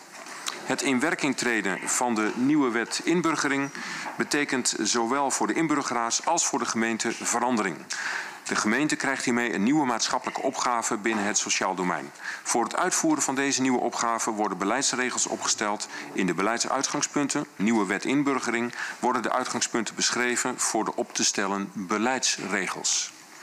Dit gezegd hebbend wil ik graag voor de eerste termijn beginnen bij de fractie van de Partij van de Arbeid en dan tegen de wijzers van de klok in het rondje afgaan en dan kom ik vanzelf bij de heer Moerman, fractie Partij van de Arbeid. Gaat u gang.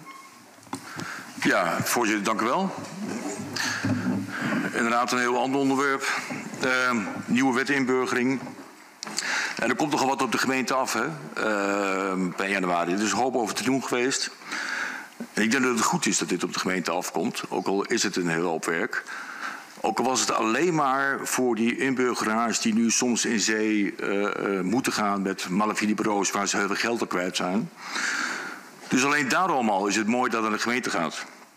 En ook dat het keurmerk blik op werk ook uh, erbij komt, uh, inderdaad. Um, daar een voorstel, een paar vragen.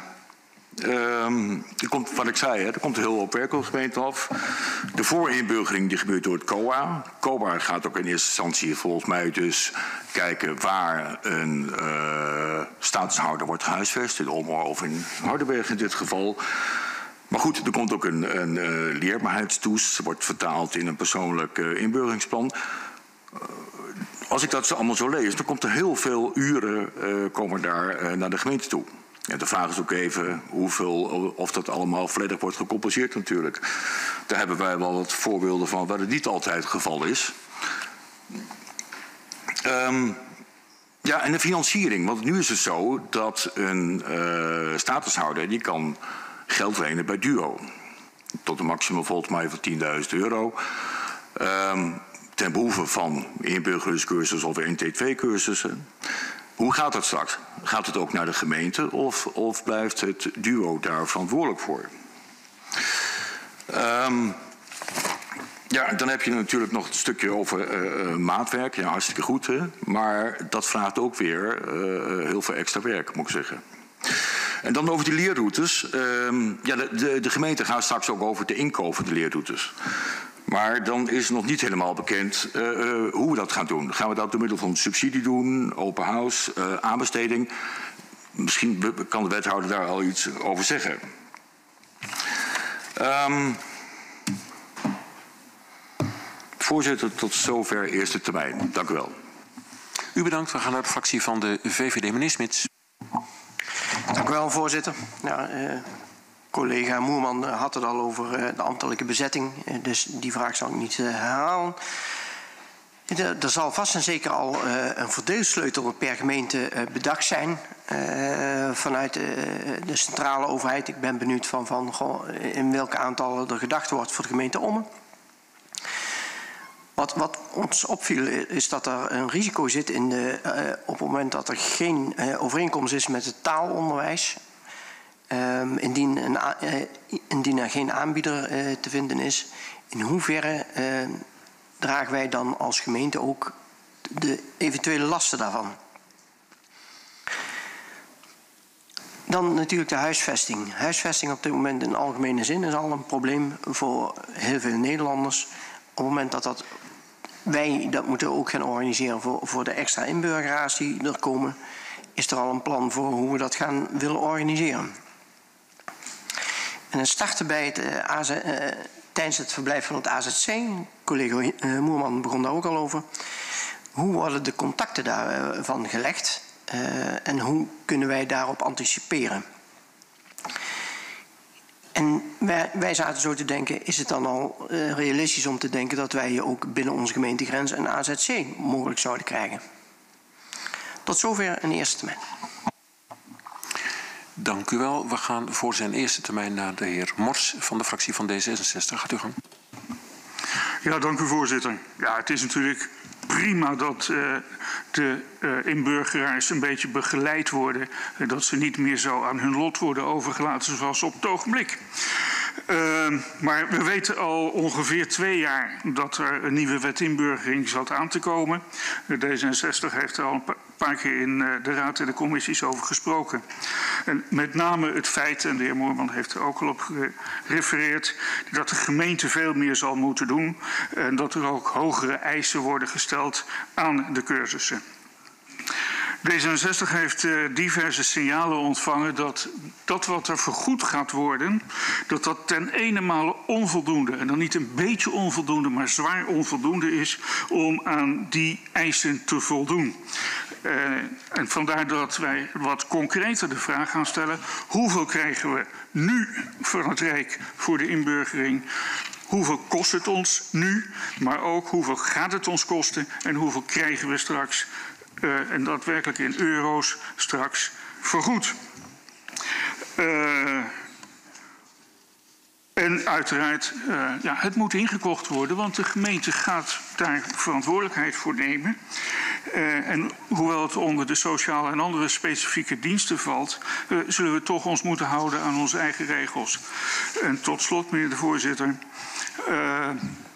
beleidsuitgangspunt 2 punt 2, beginnen bij het AZC. Uh, in hoeverre is dat dan zo uh, vast en duidelijk? Uh, of zit er ook nog een mogelijkheid in dat we straks wel kosten gaan maken, maar dat de inburgeraar uiteindelijk naar een andere gemeente wordt geleid? Tot zover in eerste termijn. Dank u wel, meneer Mors. Meneer Mors, uw uh, vraagstelling over de financiën van uh, het verleden, het heden en de toekomst. Uh, dat was op het randje qua technische vraagstelling, moet ik vaststellen. Wellicht dat de wethouder dat eenvoudig uit zijn mouw schudt. Zo niet, dan stel ik voor dat we de vraag voor dit moment schrappen. Ik geef het woord aan meneer De Jonge. Mag ik daar nog even op reageren, meneer de voorzitter? Want ik heb deze vraag van tevoren aangekondigd. Uh, dat heeft u uh, niet uh, laten merken, maar als het een technische vraag is die u van tevoren heeft gesteld, dan had u hem nu wellicht niet hoeven stellen, want dan had u er waarschijnlijk een antwoord op gehad. Maar dat was mij niet bekend. zoals u weet komen de technische vragen niet langs uw voorzitter. dus ik hoop dat u de, de, beantwoording heeft gehad en zo niet, dan zult u hem ongetwijfeld krijgen en zullen we alsnog, als dat niet snel beantwoord kan worden, de vraag voor nu moeten schrappen. Ik ga naar de heer De Jonge van de fractie van de VOV. Gaat u gaan. Ja, voorzitter, uh, het, het, geld is natuurlijk niet minst belangrijk. Hè? En uh, ik, zal het daarin kort houden. Het is goed om te horen dat de aangesloten van de landelijke toekomstige coalitiepartijen zich daar ook al zorgen om maken. En ik hoop dat het college in staat is om, als wij niet voldoende budget hiervoor krijgen uit het gemeentefonds, dan gezamenlijk aan de bel te trekken. Want ik heb begrepen dat wij niet de enige gemeente zijn die met dit probleem kampen. Want het is ook maar de vraag van hoe, hoe groot zijn de aantal hè, die we moeten begeleiden. Uh, laat ik uh, wel zeggen dat het superbelangrijk is dat we het goed doen. Dat het eindelijk goed gebeurt. En daar hoort ook, daar hoort ook budget bij. en dan zou ik zeggen, trek met gelijkwaardige gemeentes via de VNG, trek daarin op. Dus dat is een, een, een, vraag, maar misschien ook wel een hint. Ja, voorzitter, en als ik naar het stuk kijk, dan denk ik van, nou ja, weet je, het is goed, hè, we moeten de wet uitvoeren. En we moeten er eindelijk voor zorgen dat de statushouders, dat die goed ingeburgerd worden hier in Nederland. Daar, daar, hebben we ook een, een plicht toe. Maar ik zou wel zeggen, voorzitter, want als ik dan kijk, en dat is gelijk ook een vraag, naar de beleidsuitgangspunten, dan zegt het college, wij kiezen voor scenario 2. Dat is, dat is al een hele pad. Hè? Er, er, ligt iets voor bij het college, of bij de, bij de gemeenteraad, het hoogste orgaan, en het college kiest voor 2. Nou, ik, ik zou me daar in principe in kunnen vinden, maar ik zou dan wel aan het college vragen om die te willen opsplitsen. Namelijk in het gedeelte waar de COA voor verantwoordelijk is.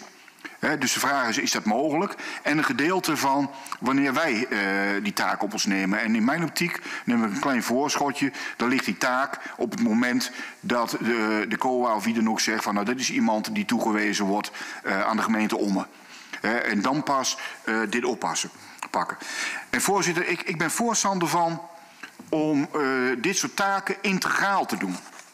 En, en de vraag daarbij is, is het mogelijk om het integraal te doen met andere zaken. Want wij hebben hier in de gemeenteraad al jaren, uh, we, hebben, we hebben eens een keer een kick gehad, hè? Uh, krachtig investeren in kansen. We hebben van uitkering naar werk gehad. We hebben sociale return gehad. We hebben city deals gehad. En ik zou het nou zeggen, want dat is ook wel een wens die wij herhaaldelijk hebben uitgesproken. Daar kom ik bij de begroting ook nog, nog, nog op terug. Pak dit nou eens op. En pak dit gezamenlijk op om uh, ook die statushouders aan het werk te krijgen. Niet dat we een pool krijgen vol uh, in de bijstand, waar er nu, uh, begreep ik, zo'n dik 300 in zitten, maal 13.000 euro per jaar. Pak dit nou op en zorg dat mensen die het willen, hè, want dat geldt niet alleen voor statushouders, een reële kans krijgen. Voorzitter, en ik heb mijn oren eens te luisteren gelegd, zo hier en daar. En ik heb begrepen dat er gemeentes zijn die projecten al op hebben gestart. Uh, projecten basisbaan en project voor toekomstige arbeid. Uh, we hebben dat in Omme één keer gedaan. Toen hebben we een, een dame uit de... Uh, een statushouder hebben we in gemeentehuis uh, in dienst genomen. En die heeft daar uh, bij de facilitaire dienst geholpen met, met koffie, thee, et cetera. En ik zou aan het college willen vragen of ze daar ook misschien met een voorstel willen komen of over mee willen denken. Om die mensen, zoals in andere gemeentes, voor twee jaar een betaalbare baan te geven. Zodat ze uh, uh, kunnen integreren, zeg maar een soort st stageplek. Kunnen integreren tegen een, een, een minimum salaris. Minimumloonsalaris op zijn minst. en zo helpen naar, van, van, van werk naar, naar werk. Die projecten die ik gezien heb, die spraken me heel erg aan. Voorzitter, tot slot. Want uh, het college stelt voor om over twee jaar een evaluatie te doen. Doe ik even uit mijn hoofd als ik het goed gelezen heb. Ik, ik heb behoefte aan om uh, eerder en tussendoor terug, uh, terugkoppeling te halen, maken. En dat sluit ook wel een beetje aan bij wat de collega Mos zegt. Maak dan helder wat de resultaten zijn. maak helder wat het gekost heeft. Nou ja, daar past dan ook die resultaten, de opbrengsten bij. En want het zal mij aan mijn hart gaan dat we niet alleen de statushouders, maar iedereen die in de uitkering zit aan de baan kunnen helpen. En de tijd is erna, voorzitter. Dank u wel, meneer De Jonge. We gaan naar de heer Leuwik, fractie CDA. Gaat u gang. Ja, voorzitter, dank u voor het woord. Ja, op 1 januari 2022 gaat dan de nieuwe wet inburgering van start. En wordt dat de gemeente verantwoordelijk voor de inburgering van onze bewoners met een inburgeringsplicht, hebben we gehoord. Ja. De uitvoering van de inburgering is nu, wordt nu, een maatschappelijke opgave binnen het sociale domein van de gemeente. En die verloopt ook via beleidsregels. Die moeten we nu opstellen. Het beoogd eh, effect uh, is eigenlijk wel een beetje ambitieus, als ik dat zo lees. Binnen drie jaar doet de nieuwe inburgeraar mee in de maatschappij door middel van betaald werk, vrijwilligerswerk of een andere vorm van dagbesteding. Erg ambitieus. En de keuze voor scenario 2, daar kan het CDA wel mee eens zijn. En dus onderschrijven wij dat. Maar toch zijn er nog wel een aantal onduidelijkheden. En ik heb een zestal vragen daarover. En een aantal heb ik al gehoord. Maar uh, ja, het is altijd heel moeilijk. Is de vraag nou precies zo gesteld? Ja of nee? Maar het komt in feite. Zullen we eens kijken of dat inderdaad past. Maar de eerste is wel een uh, bijzondere. Uh, wij kiezen voor scenario 2. Uh, belangrijk hierbij is die integrale aanpak binnen het sociale domein. Bijvoorbeeld uh, samenwerking tussen welzijn, bibliotheken, samen doen team. Deze komt niet voldoende terug in de notitie. Wat is de visie van onze gemeente qua integrale aanpak? Oftewel, welke partners gaan nu samenwerken rondom het traject, het proces inburgering? En hoe leren we nou van de ervaringen van andere gemeenten? Daar ben ik wel benieuwd naar. Het tweede gaat over huisvestingsbehoeften, heb ik ook uh, gehoord van de VVD. Uh, kunnen we daar wel aan voldoen? De derde gaat over capaciteit en expertise, en dat is toch ook wel een belangrijke. Hebben wij wel voldoende capaciteit en of expertise binnen het gemeentelijk apparaat om een 4.0 om die NW goed te kunnen uitvoeren? Vierde, en die is ook door de PvdA en D66 al gedeeltelijk uh, gesteld hebben wij wel financiële uh, middelen genoeg om die uitvoering met betrekking tot die leerroutes, waar nog niet alles voor geregeld is, en participatieprojecten, waar ook nog veel georganiseerd moet worden, hebben wij dat wel op orde. En de vijfde, ook niet onbelangrijk denk ik, is er wel voldoende kwaliteit rondom de inhoud van de leerroutes en wie gaat dat controleren? En de laatste, dat hoor ik mijn buurman ook al zeggen, uh, monitoren. Ja, over twee jaar staat er een uh, enquête gepland. Maar hoe monitoren we dat en hoe nemen we dit mee in de PC-route? Uh, dat waren mijn zes vragen. Dank u wel. U bedankt, meneer Leuwik. En uh, ja, ik stel met u vast dat, dat u met mij het eens bent dat een aantal van uw vragen uh, wellicht met andere bewoordingen al gesteld waren. En het is goed gebruik om dat zoveel mogelijk proberen te vermijden. Ik heb het heel snel gedaan, voorzitter. Uh, dat, dat heeft, u, u, heeft het zeker snel gedaan, zonder al te uitbundige inleidingen. Maar dan nog zij het zo, wat mij betreft, dat een aantal vragen in één keer beantwoord kunnen worden, omdat die min of meer dubbel zijn gesteld. we gaan door naar de fractie van de ChristenUnie. Mevrouw Hemstede, gaat u gang. En dank u wel, voorzitter. Uh, ook ik heb een aantal uh, vragen uh, aan de portefeuillehouder. daar, zal, daar lijken wat over een aantal een beetje verlopend te zitten of te zitten. Maar tegelijkertijd er zitten een paar accentnueringen in. En die zou ik wel graag willen, willen stellen. Um, vroegen eigenlijk aan, aanvullend op de stukken die we gelezen hebben. Aan de, was, was bij ons nog eigenlijk wel de vraag van wat is de visie van de wethouder op de uitvoering van de nieuwe wet inburgering? En waar en zo ja, welke kansen ziet de, uh, en mogelijkheden ziet de wethouder om te komen tot passend maatwerk binnen de gemeente Ommen? De regie voor de uitvoering van deze wet ligt bij de gemeente. Houdt dat ook in dat de uitvoering ook door de gemeente gaat plaatsvinden door professionals? Of houdt vluchtelingenwerk het maatschappelijke gedeelte van de begeleiding? Kan de wethouder daar iets over zeggen? Wat gebeurt er met een inburgeraar uh, als het traject van drie jaar op zit en niet volledig is, uh, nog niet volledig is ingeburgerd of het traject uh, vertraging heeft opgelopen? Nou, er zijn meerdere collega's voor mij die hebben ook al gevraagd over de, de resultaten en de monitoring. En daarvoor was, hadden wij de vraag eigenlijk, heeft de wethouder ook overwogen om zich aan te melden bij de benchmark statushouders van Divosa? Waar ook die monitoring en de vergelijking met andere gemeentes plaatsvindt. En dan de laatste vraag, de financiën. Nou goed, die is al meerdere malen gesteld. Dus uh, daar, uh, die zal ik niet herhalen. Waarvoor dank, mevrouw Hemstede. We gaan naar de heer Dalenoord, fractie LPO. Gaat u gang. Ja, voorzitter, ik kom niet misschien aan, aan dubbelingen, maar ik zal het proberen te vermijden. Uh, allereerst de vraag over de participatie van inwoners uh, van Ommen. Vluchtelingenwerk werd al genoemd. Ik, ik zou uh, bijvoorbeeld voor kunnen stellen dat er een soort gezinscoach komt of een coach voor inburgeringsplichtigen, zoals dat heet. Om zo snel mogelijk contact te krijgen met ons Nederlanders. Larcom wordt genoemd als uh, bedrijf die eventuele inburgeringspplichtigen zou kunnen opnemen. Maar ik zou willen pleiten om niet alleen de Larcom, niets ten nadele van de Larcom, maar om dus toch nog meer uh, instellingen of bedrijven hiervoor uh, te zoeken. En met name bedrijven waar erg veel taalgebruik noodzakelijk is. Taalgebruik is eigenlijk het eerste wat, men zou moeten leren. En uh, de Nederlandse taal is een moeilijke taal. Dus je zou het zoveel mogelijk moeten spreken. En dat kom je alleen maar in de praktijk tegen. Theoretisch kan het zijn dat de inburgeringspplichtige pas drie of vier jaar nadat hij in Nederland is gekomen bij ons in de gemeente Ommen komt. In die tijd kan het zijn dat hij dus totaal nog niets aan inburgeringsverplichtingen heeft gedaan. Hij kan zich daarvan uh, uitsluiten. Heb ik begrepen uit de, uit de verhalen. Is er een mogelijkheid om voor die tijd voor de gemeente alsnog uh, alvast te starten met die inburgeringsplicht? Komt dat in het beleidsnotitie te staan dan? Um, dan de inburgeringsplicht, dat is een plicht. Het staat in de landelijke wet. En worden dan de beleidsregels, de eventuele drang en dwang, worden die daarin meegenomen als niet aan die plicht voldaan wordt? Um, dan heb ik nog uh, de gezinsmigranten, heb ik gelezen, die horen niet bij het, de inburgeringsplicht.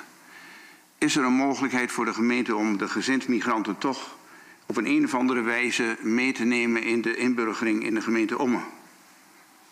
Vaak zijn dat uh, echtgenoten of uh, die meekomen of uh, na die tijd in Nederland komen en ja, eigenlijk niet meegenomen worden bij die inburgeringsplicht. Waarom weet ik niet, staat ergens in de wet.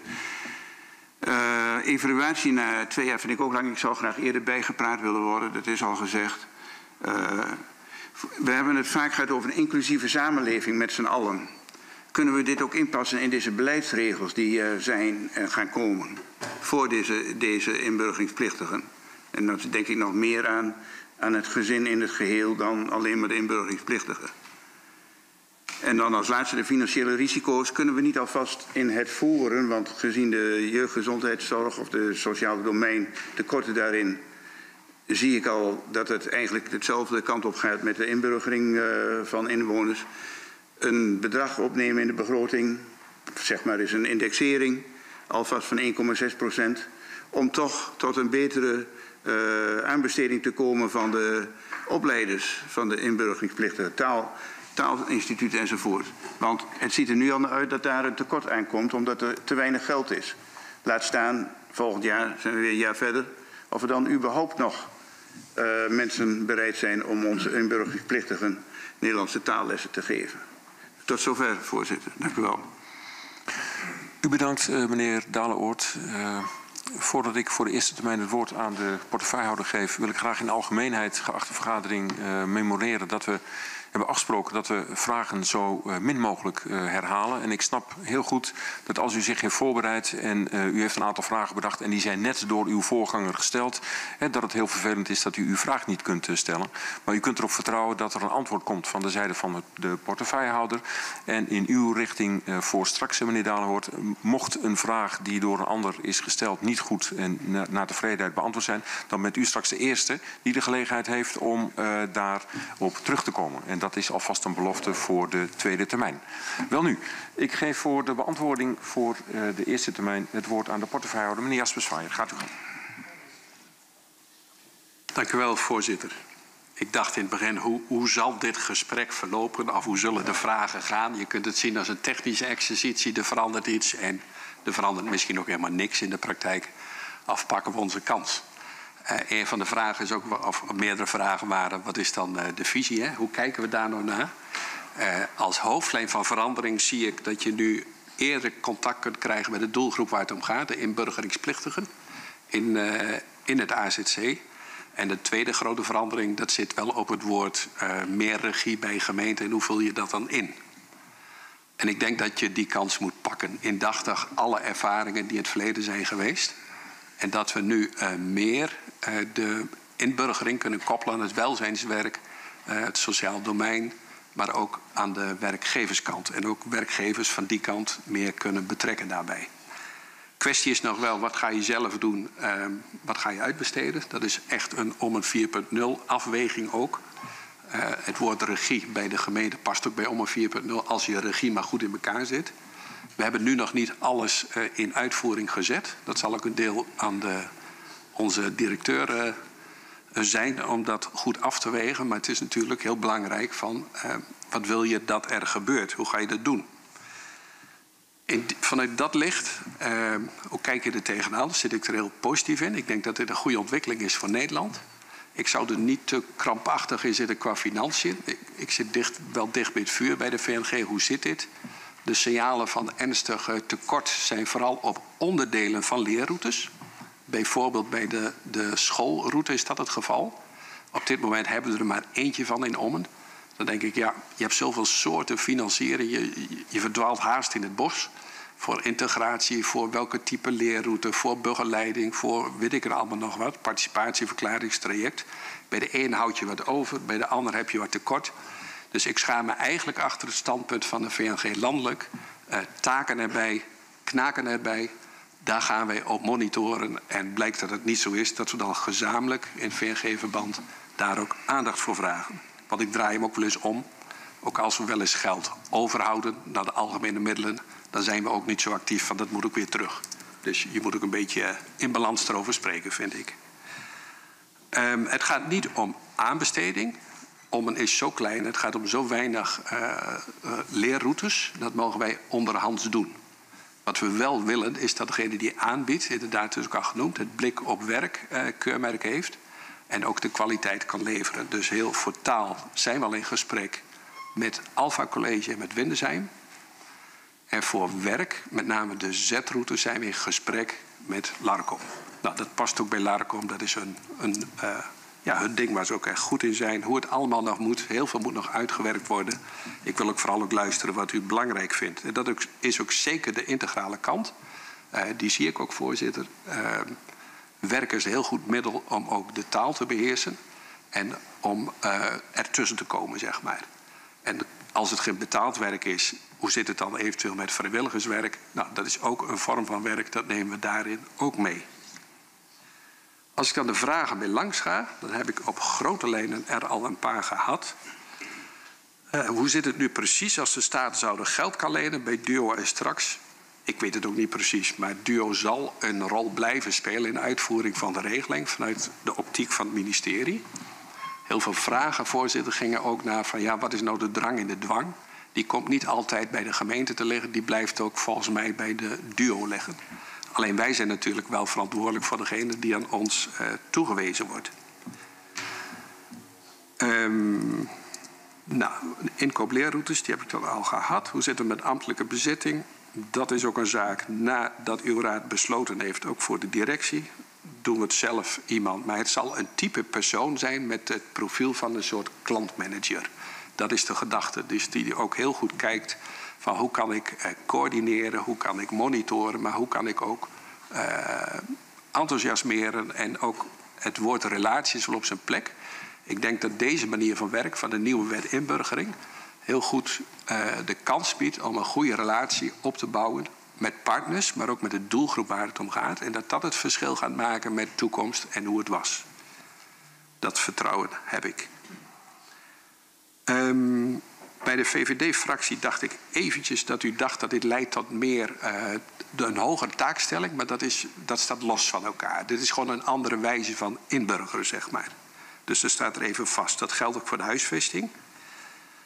Uh, de contacten met het AZC. Het mooie is, we kunnen nu eerder contact leggen. In het AZC zelf is al, ook, loopt ook al een programma. Uh, 11, 12, 13, 14 weken, orde grootte, weet ik veel. En bijna aan het eind, dan komt er zicht op koppeling naar de gemeente toe. Nu is het zo uh, dat naar de letter van de regeling, als ik goed geïnformeerd ben, kan vanuit elk AZC in Nederland iemand gekoppeld worden aan Ommen. Maar de praktijk is dat je wel gaat kijken op de kaart van Nederland. Waar ligt Ommen? Oh ja, dicht bij Hardenberg, dicht bij Meppel. Zo denken ze bij het COA, om zo maar eens te zeggen. En dan eh, wordt er al gekeken. Tot op zekere mate hebben we contact met mensen van COA... en kun je ook bijvoorbeeld je voorkeur aangeven. Uh, dat is altijd ietsjes, ja, kan het, kan het niet. Je hebt alleenstaanden, je hebt gezinnen, uh, grote gezinnen, kleine gezinnen. Dan moet ook niet tussen, ja, te vervelend te zijn als gemeente. Maar aan de andere kant, COA mag er ook best wel rekening mee houden. Dus er zit ook wat tussen. En zo gebeurt dat. Uh, in de tijd dat iemand op het AZC zit, daar wordt dat PIP vastgesteld. Dus het persoonlijk plan voor integratie, inburgering en participatie. En eigenlijk vanaf de datum dat het PIP wordt ondertekend, dat geldt volgens mij als datum ook voor die inburgering. Nou, u voelt daar wel aan, er komt ergens een hiccup als iemand al wel een plan heeft, maar dat AZC niet uit kan vanwege een huisvestingsvraag. Dat is de problematiek van nu. Dat is best lastig, heel demotiverend voor de mensen zelf ook. Uh, ik ben wel blij dat er bijvoorbeeld uh, onderwijsfaciliteiten zijn voor de kinderen van de gezinnen op de AZC zelf. Goed, dit heeft onze aandacht.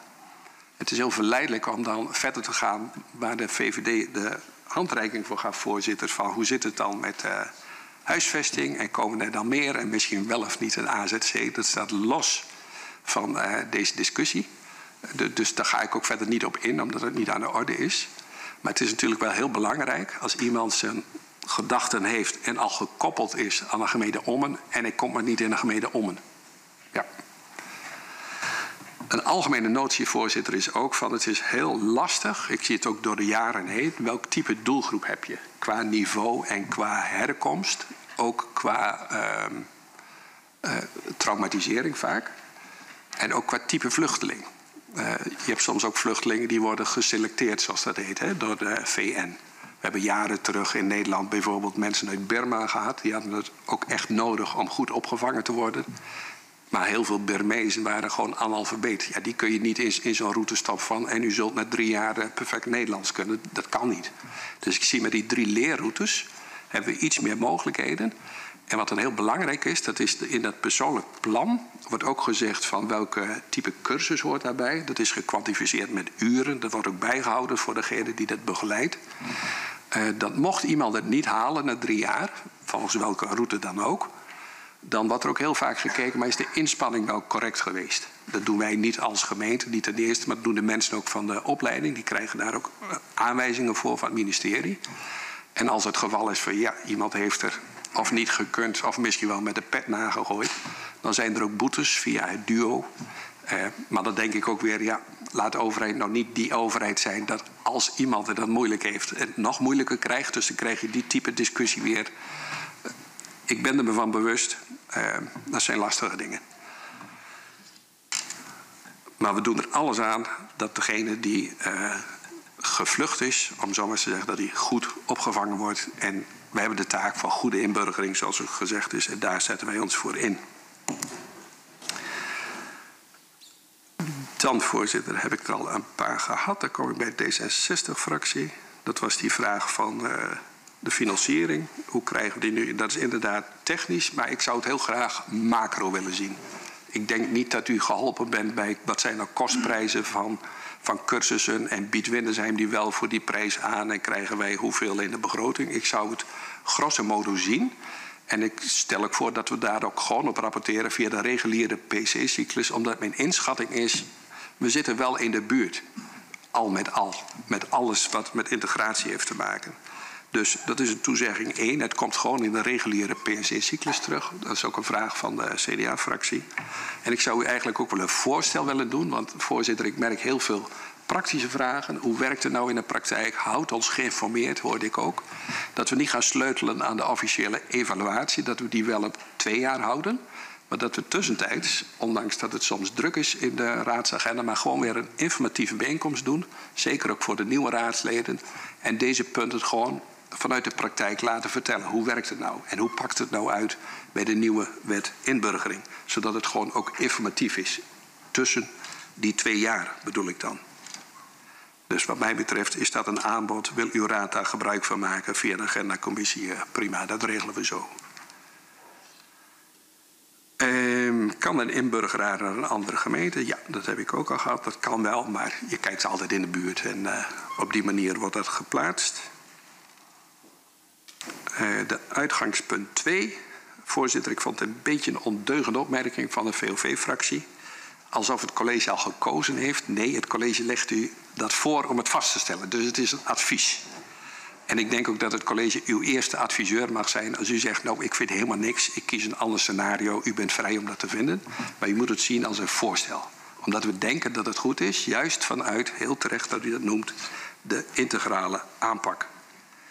En zeker moeten we ook leren van alle projecten die we gehad hebben. U noemde er uh, een aantal, dat moeten we ook zeker doen. Uh, het leren van andere gemeenten, ik zag dat ook bij de VOV-fractie, de andere fracties, dat kwam ook terug. Uh, kan dat? Uh, jazeker. Wij hebben contact met Divosa. En prachtig. ook gemeenten worden geholpen om te kunnen vergelijken. En dat moeten we ook doen. En volgens mij dacht dat we aangemeld zijn voor de benchmark. Maar anders gaan we dat oppakken naar aanleiding van dit gesprek.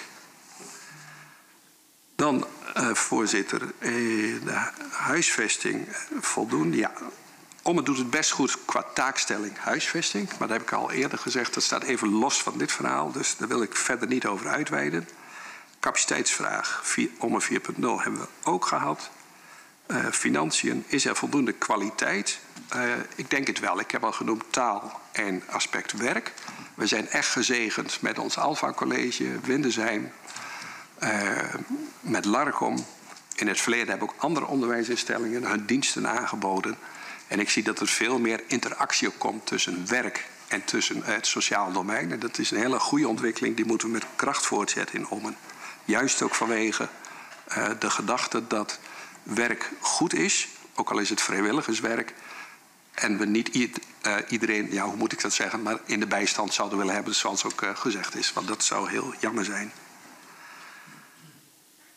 Um, dan de laatste vraag van het CDA, voorzitter. De monitoring, ja, via de PC-cyclus.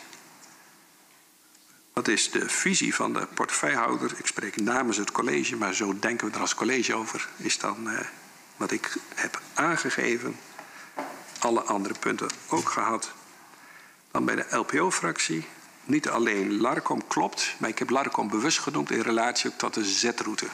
Want dat zijn de, de Z is van de zelfredzaamheidsroute.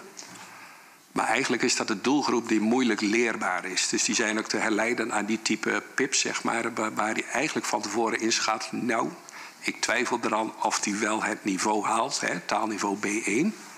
Maar dat we wel zeggen van, eh, kom op, we hebben ook naast het aspect taal ook het aspect werk. Gewoon praktisch werk, gewoon doen waar je contact hebt met andere mensen. Er staan aantallen uren voor waar je aan moet voldoen. En ik heb er vertrouwen in dat iemand als Laricom, organisatie, dat prima kan. Uh, wanneer iemand in Ommen komt, op tijd starten met inburgeringsplicht. Daar heb ik net iets van gezegd. Het staat officieel al in het AZC. Maar we willen niet graag dat die tijd onnodig lang uh, wordt gerekt door niet beschikbare huisvesting als iemand in het AZC zit. Maar dat is een andere discussie. Maar eigenlijk begint het dan al. En het is ook altijd overleggen met het AZC. Is het nou overmacht? Uh, hoe gaan we het doen? Hoe snel pak je het op als gemeente? En wij, wij zetten er ons voor in als om dat die tijd goed aansluit. Dat is een heel belangrijk punt. Hoe zit het precies met de gezinsmigranten, de nareizigers en zo? Dacht ik ook, wie is wel en niet inburgeringsplichtig? Dat is vrij uh, complex. Ik heb er zelf ook even naar moeten zoeken. Ik, ik kan u daar geen college over geven wie wel en wie niet. Want inburgering moet u zien als het voorportaal en de route naar naturalisatie. Dus dat is eigenlijk ook het punt van wie kan het Nederlanderschap krijgen. En er zijn verschillende manieren om Nederlander te worden. En we hebben het hier over de inburgeringsplichtigen met het oog op uh, definitieve huisvesting in Nederland. Met een uh, verblijfsvergunning voor onbepaalde tijd. En nu maak ik even een zijstapje, voorzitter, naar een andere vraag. Wat zijn eventuele sancties, die ik net ook noemde van het duo? Dat is bijvoorbeeld ook dat daaraan gesleuteld wordt. Hè? Iemand die bijvoorbeeld te kwade trouw is, dat hij dan niet een verblijfsvergunning voor onbepaalde tijd krijgt. Want als dat vertrouwen er niet is, dan kijkt duo naar dat aspect. Het is vrij ingewikkeld wie wel en wie niet. Maar ik zou bijna zeggen, in principe iedereen die inburgeringsplichtig is. En de financiële risico's, dat is de laatste vraag, voorzitter. Maar dan uh, moeten we alvast wat opnemen in de begroting. Mijn advies is om dat niet te doen. Ik zou vertrouwen op wat ik u voorhoud. Ik zou gaan plussen en minnen. Laat ons dat doen. Als college dat we ook inzichtelijk maken. Wat, zij, wat is nou het verloop van die kostenontwikkeling en de vergoeding daarvan door het Rijk. Middels de PC-cyclus. En dan zijn we vast niet de enige gemeente als er wat is. En dan in collectief belang pakken we dat dan op. Tot zover. Dank u wel, portefeuillehouder. Voor uw tweede termijn wil ik graag beginnen, zoals ik zojuist al aangaf, bij de heer Dalenoord van de fractie van de LPO. En dan tegen de wijzes van de klok in, dus omgekeerde volgorde, het rijtje af te gaan. Meneer Dalenoord. Geen vragen, voorzitter. Okay. Mevrouw Hemstede.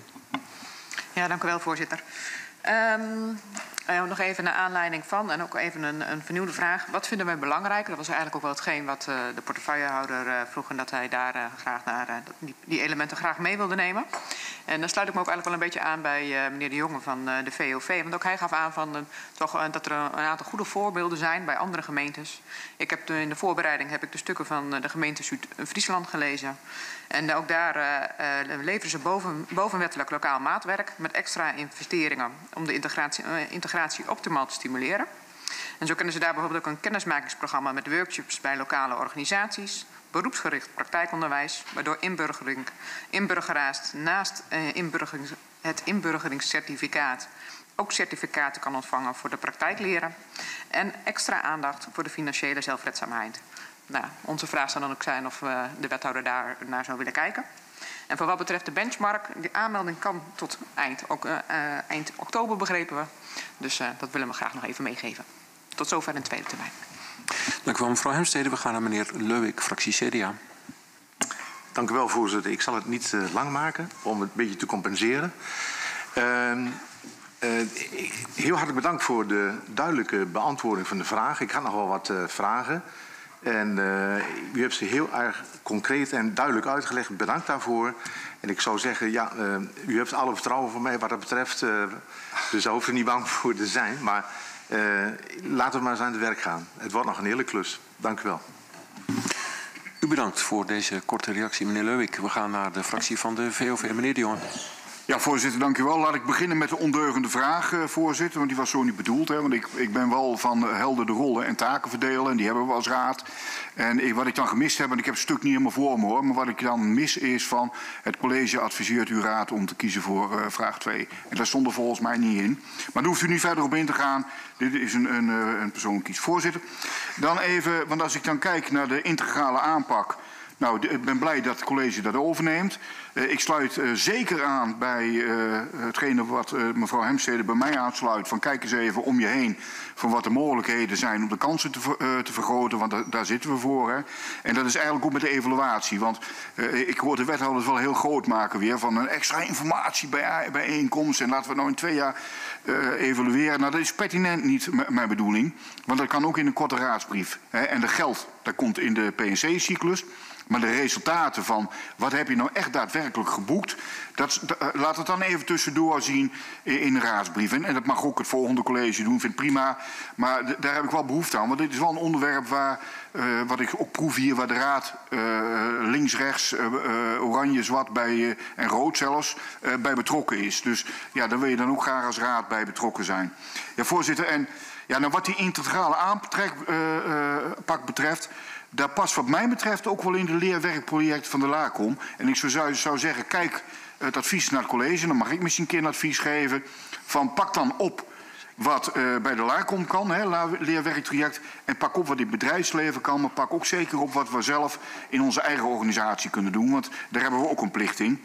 En, en voorzitter, ja, daar moeten we toch wat van te hard. Want ik sprak van de week uh, twee ondernemers die uh, gevraagd hebben om statushouders in dienst te nemen. En die hebben nul op het request gekregen vanuit uh, de ambtelijke organisatie. In dit geval vanuit Hardenberg. En dat stelt me diep en diep teleur. Want we maken, je maakt mij niet wijs dat er op dit moment in Ommen geen statushouders zijn die we niet aan een uh, soort stageplek bij een ondernemer aan, aan, het werk kunnen hebben. Dus en dat zou ik het college willen meekomen. Voorkom, voorkom dit soort zaken. Nou, als een ondernemer komt van wij willen ermee aan de slag, is trouwens ook iets wat de heer Smit en ik bij uh, de OVO uh, gehoord hebben, in algemene zin, bij het bestuur van de OVO.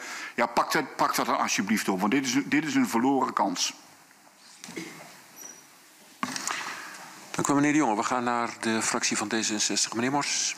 Ja, dank u voorzitter. Geen doublures. En ik ben heel erg blij met het antwoord van de wethouder van je moet in, grote, in het grote geheel zien. Nou, ik hoop dat we dan toch ook voor behandeling in de raad dat grote geheel nog even uh, nou, aangeduid kunnen krijgen. Tot zover.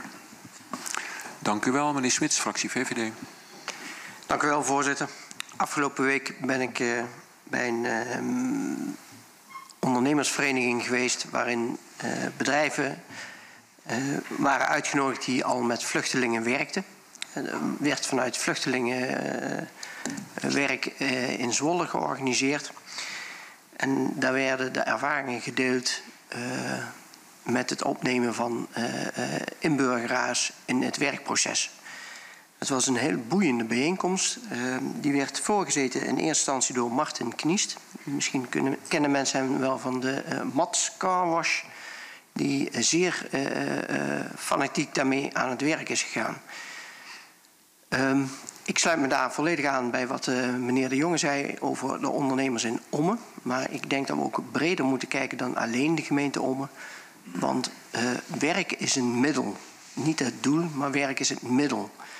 Wat, wat wij, want er waren ook een, een twintigtal uh, inburgeraars van de afgelopen tien jaar. En wat zij vooral misten was de flexibiliteit van gemeentes. Een hele starre proces. Iemand die wilde graag een HBO-opleiding doen, want was verpleegkundige in Irak. En kreeg geen, of is anderhalf jaar bezig geweest om de juiste opleiding te volgen in Nederland om hier verpleegkundige te worden. Dat zijn schrijnende gevallen. En, en ik hoop dat wij als gemeente dit niet doen. En leren van de ervaringen, zeker uit andere gemeentes. Tot zover. Dank u wel voor uw bijdrage, meneer Smits. Dan gaan we tot slot naar de heer Moerman, fractiepartij van de Arbeid. Gaat u gang. Ja, voorzitter, dank u wel. Geen opmerkingen in tweede termijn. Dank u wel, meneer Moerman. Uh, voor de tweede termijn uh, de beantwoording van de portefeuillehouder, meneer Jasper Zwaaier. Gaat u gang.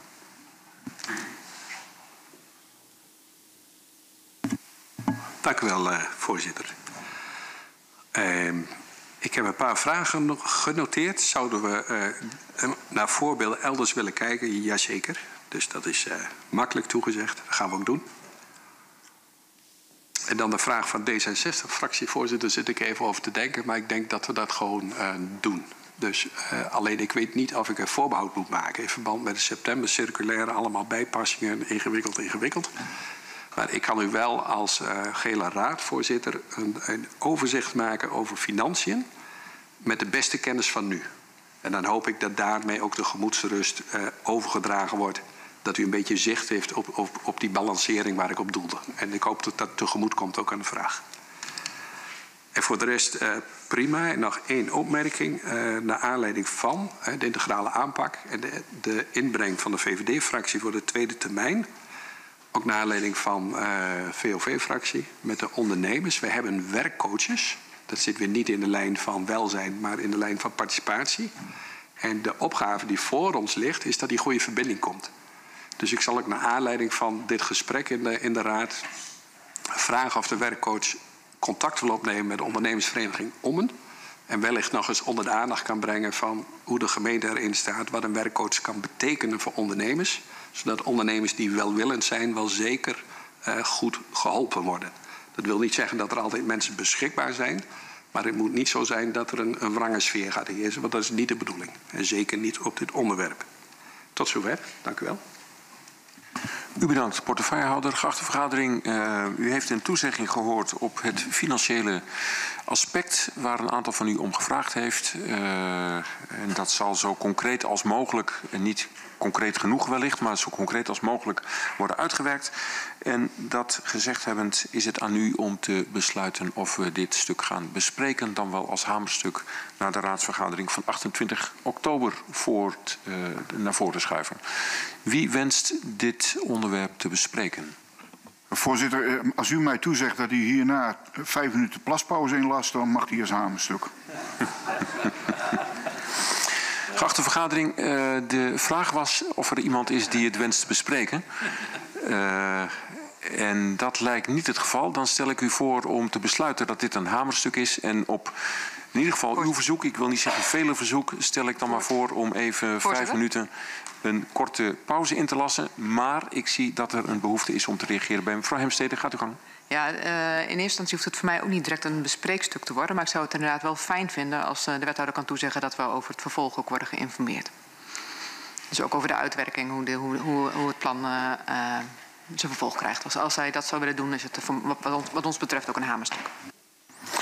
Ik zag uh, uit mijn ooghoeken instemmend geknik. We gaan de discussie niet uh, opnieuw doen en ook geen derde termijn. Maar u heeft die toezegging inmiddels uh, op zak. Dus daarmee nogmaals stel ik u voor om te besluiten dat dit een hamerstuk wordt. En stel ik ook voor om kort, en misschien dat vijf minuten voor een korte plaspauze voldoende is... om even de vergadering te schorsen. Tot over vijf minuten.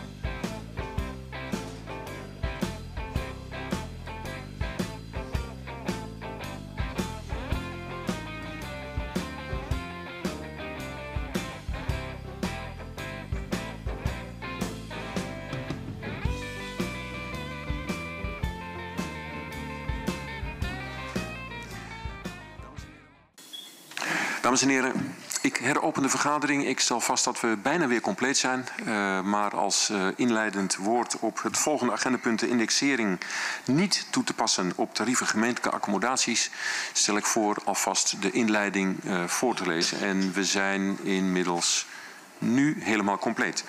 Daar komt hij. Jaarlijks stelt de Raad de verordening tarieven voor het gebruik van de gemeentelijke accommodaties vast. Dat is normaliter conform het jaarlijkse inflatiepercentage zoals vastgesteld tijdens de begrotingsbehandeling. Er wordt voorgesteld om de jaarlijkse indexatie naar huurders van gemeentelijke accommodaties niet door te rekenen. Dit als inleiding op dit agendapunt stel ik voor te beginnen bij de fractie van D66 en dan in de, met de wijzers uh, van de klok. Nee, uh, neemt u mij niet kwalijk ik had als verandering is bedacht om tegen de wijzers van de klok in te gaan. Uh, dus uh, dat maar even duidelijk gemaakt te hebben. Meneer Mors, gaat u... Nee, neemt u me niet kwalijk. Men, het lijkt alsof mijn administratie in de war is. Laat ik, me dat, laat ik dat maar de schuld geven. Mevrouw Werners van de fractie van D66. Voor uw eerste termijn. Gaat u gang. Dank u wel, voorzitter. Um, het is prettig dat wij een positief gevoel willen uh, creëren bij onze inwoners. En om uh, kosten niet door te laten gaan, uh, is dat altijd een, een, tijdelijke verwelkoming, vooral in deze periodes.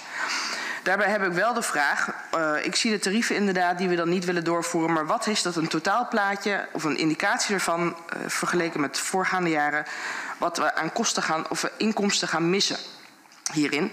En heeft het ook invloed op de komende jaren?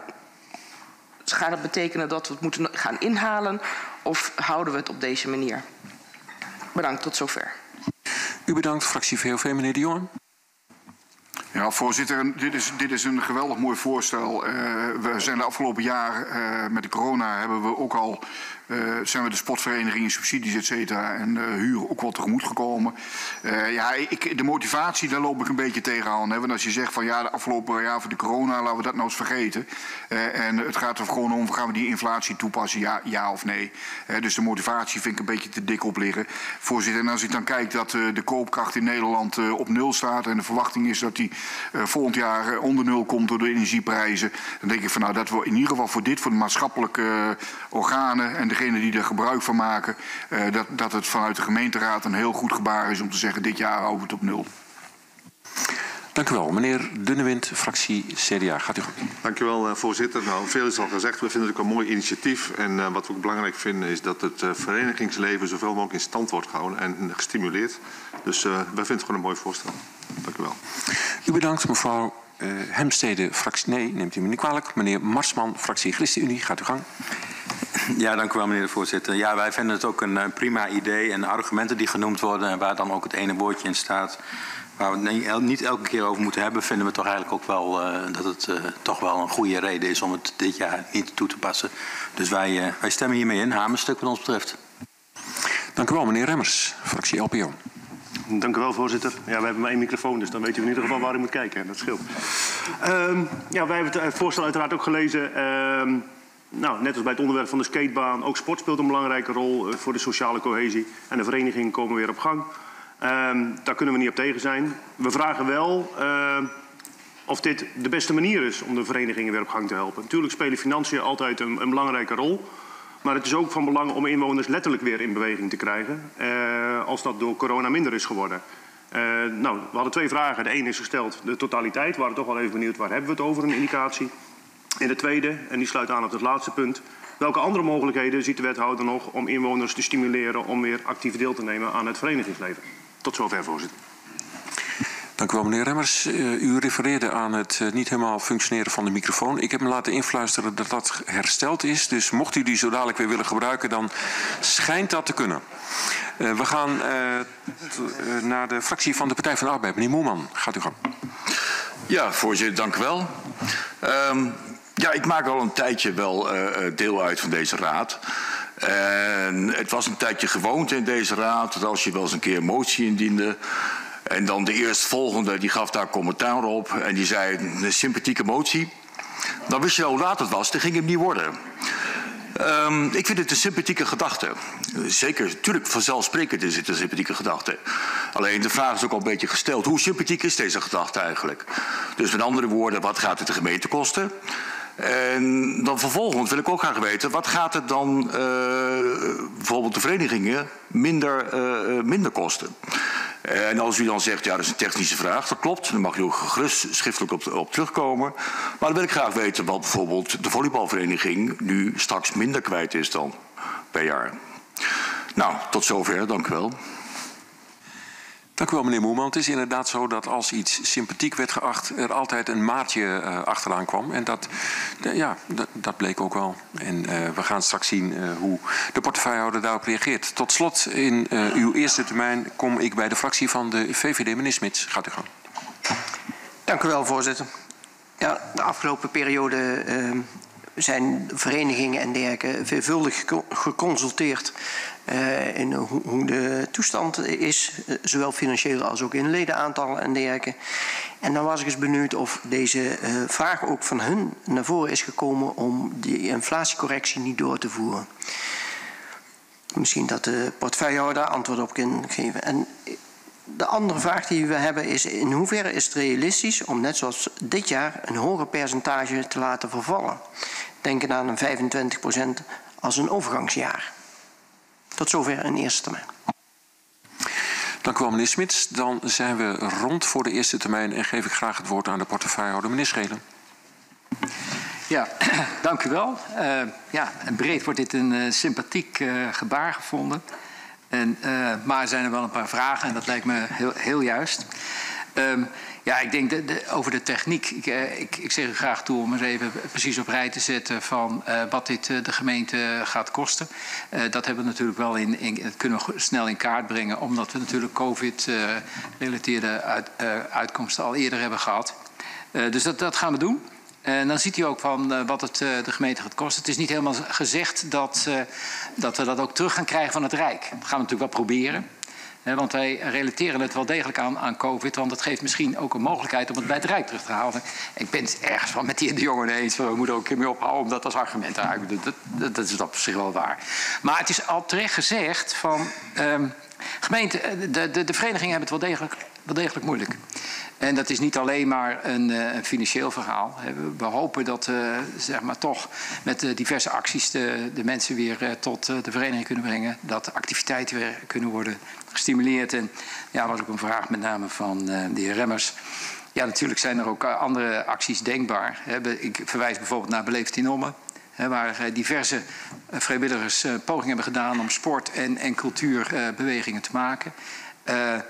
Toevallig vanavond was er ook nog even sprake van de 24 september, de clinics uh, in, uh, in de sporthal. Nou, dat type van activiteiten die zijn natuurlijk hard nodig en die, daar blijven we ook gewoon mee bezig. Um, nou, ik hoop dat ze met de beantwoording van de technische vraag uh, de heer Moerman het niet alleen sympathiek vindt, maar ook volmondig ja gaat zeggen in de raad. Daar ga ik in ieder geval mijn best voor doen. Tot zover. Dank u wel, portefeuillehouder. Uh, in omgekeerde volgorde te beginnen bij de heer Smits. Gaat u gang. Ja, dank u wel, voorzitter. Ik heb een tweetal vragen gesteld. Uh, daar heb ik geen antwoord op gekregen. Dus ik, daar was ik toch heel benieuwd uh, naar van de reactie van de portefeuille. Dank u wel, meneer Smits. Dat gaan we in tweede termijn wellicht uh, corrigeren. Ik ga naar de fractie van de Partij van de Arbeid. Meneer Moerman, gaat u gaan. Geen opmerkingen, tweede termijn. Dank u wel. Dan komen we bij de fractie van de LPO, meneer Remmers. Niet. Ik dacht dat u ook al voor een hamerstuk had gekozen. Niet de fractie van het CDA, niet meneer De Jonge wel. Meneer De Jonge, fractie VOV. Ja, voorzitter, als het uh, citaat over de corona bedoeld is om uh, wat meer geld bij Wopke uit de zak te krijgen in, in, in verband met de corona-toelagers voor de gemeentes, dan heb ik mijn opmerking niet geplaatst, zal dat helder zijn. Ja, voorzitter, moet me wel iets van het hart. Want in het begin, eerste termijn, dacht ik toen u begon, ik denk, oh jee, dan krijgen we hetzelfde glazer als met een van de formateurs. er gaat morgen in de krant uitlekken dat er wellicht iemand alcohol gebruikt heeft hier. Maar dat is toch niet het geval, hè? want u drinkt alleen maar water. Ik geef het woord aan mevrouw Wernaars, fractie D66. Dank u, voorzitter. Um, mijn tweede vraag die ik had gesteld is of de invloed op de komende jaren gaat hebben. Daar heb ik nog geen antwoord op gekregen. Ik begrijp dat de intentie is om het inderdaad bij het Rijk terug te vragen. Maar mocht dat niet zo zijn, welke invloed gaat het hebben op de komende jaren? Want je mist nu eenmaal een inflatie. En dat telt wel door als je het zou doorberekenen. Dus graag antwoord daarop. Dank u wel, mevrouw Werners. Dan hebben we de eerste termijn uh, gehad. Uh, geachte vergadering, op, op, persoonlijke vragen in de richting van uw voorzitter. Uh, dat heeft u al gemerkt, ga ik niet in. Dat was niet alleen nu, maar dat zal voor de toekomst ook zo zijn. dat gezegd hebbend stellen we vast dat er volgens mij nog drie vragen over zijn. En die geef ik graag in gelegenheid aan de portefeuillehouder voor de beantwoording. Gaat u gang, meneer Schelen. Ja, uh, allereerst excuus aan, uh, aan, aan, de VVD. Ik had uh, inderdaad door mijn aantekeningen te, wat schuin neer te zetten uw vraag over het hoofd gezien. Ehm, ja, u vroeg van goh, financieel salaris en ja, hoe zit het nou eigenlijk? is, is het ook bevraagd hè, door de verenigingen? Nou, het siert de verenigingen. Dat ze niet expliciet zeg maar, bij de gemeente steeds aankloppen van mogen we wat extra ondersteuning, mogen we wat extra ondersteuning.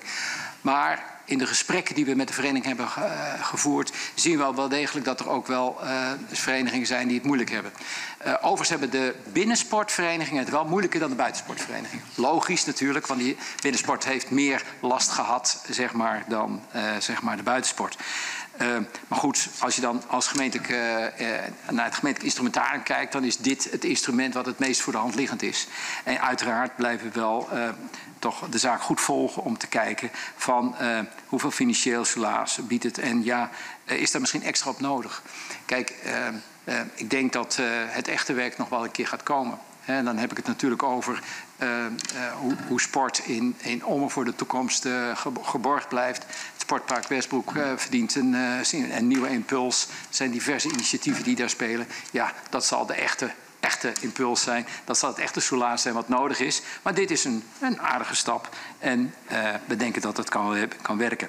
Ja, en het verhaal van, is dit een overgangsjaar? Ook de, de vraag van mevrouw Wenners heel terecht. Hè, van je kunt inderdaad cumulatief inflatie uh, doorbekijken. Nou, voor Hans doen we het zo. We gaan dit jaar de inflatie niet uh, zeg maar, doorberekenen. Dan gaan we volgend jaar kijken van of we dan uh, op het moment dat de prijsstelling daar is, daar de inflatie van dat jaar bij doen. Hè, als we het niet verder doorzetten. Dus dat is, betekent dus dat we niet cumulatief doorrekenen, ook niet teru cumulatief terugrekenen. Hè, dus voor dit jaar is dat dan uh, zeg maar het soelaas voor de verenigingen. We hopen dat het volgend jaar een vergelijkbare maatregel niet meer nodig is. Tot zover. Dank u wel voor uw beantwoording in tweede termijn. Ik stel vast dat we nog moeten besluiten welke soort behandeling we in de raad gaan doen, is er een fractie die uh, wenst dit stuk te bespreken. Na goed rondgekeken te hebben, lijkt dat niet het geval. Dan besluiten we om dit als hamerstuk door te laten gaan naar de eerstvolgende raadsvergadering op 28 oktober. Daarmee, geachte vergadering, komen we bij agenda punt 7. Uh, dat vereist weer enige wijziging van portefeuillehouderschap, zetel. Ondertussen stel ik u voor te beginnen met de inleiding. Uh, vaststelling bestemmingsplan om een kom, oftewel de witte vlekken. De gemeente Ommen bereidt zich voor op de inwerkingtreding van de omgevingswet. In de omgevingswet wordt het bestemmingsplan vervangen door het omgevingsplan. Binnen de Kom Ommen zijn er echter enkele zogenoemde witte vlekken waarvoor geen digitaal raadpleegbare bestemmingsplannen zijn vastgesteld. Om de overgang naar het omgevingsplan goed te laten verlopen is het wenselijk voor deze witte vlekken ook een digitaal raadpleegbaar bestemmingsplan vast te stellen. Dit bestemmingsplan voorziet daarin. Het gaat om een gedeelte van de Balkenweg, de aansluiting van de vastende straten op de Voormars en een deel van het Molenpad. Het ontwerpbestemmingsplan heeft gedurende zes weken ter inzage gelegen. Er zijn geen zienswijzen ingediend.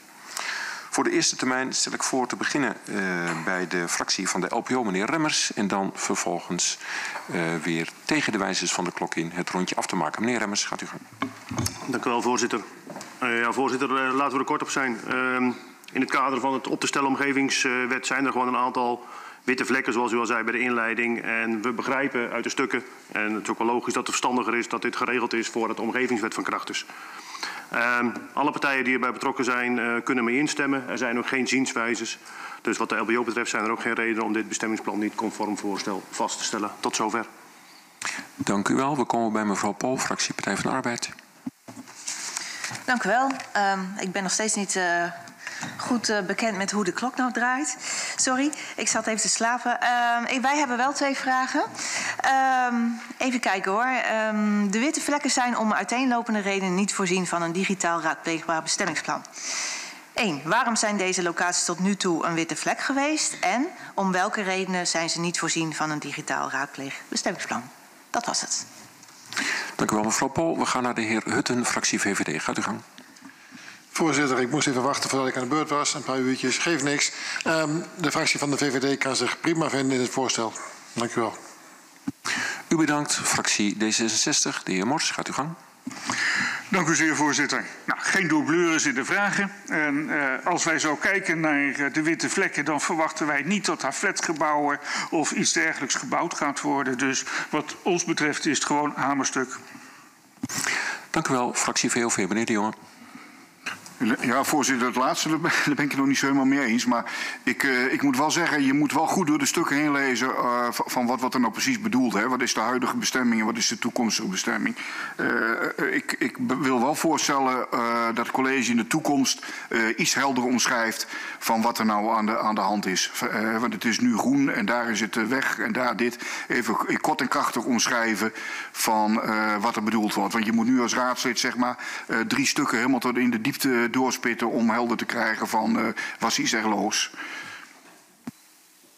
Dank u wel, meneer de Jonge. We gaan naar de heer Dunnewind, fractie CDA. Gaat u gang. Dank u wel, voorzitter. Het meeste is al geroepen. We zien het ook als een, eigenlijk een hersteloperatie van een drietal gebieden dat digitaal vastgelegd wordt. Dus wat ons betreft kan het ook als hamerstuk naar de raad. Dank u wel. Dan komen we bij de fractie van de ChristenUnie, meneer Marsman. Ja, dank u wel, meneer de voorzitter. Ik pak even mijn aantekeningen erbij. Even kijken of ik de goede bladzijde heb. Ehm, geen opmerkingen, hamerstuk.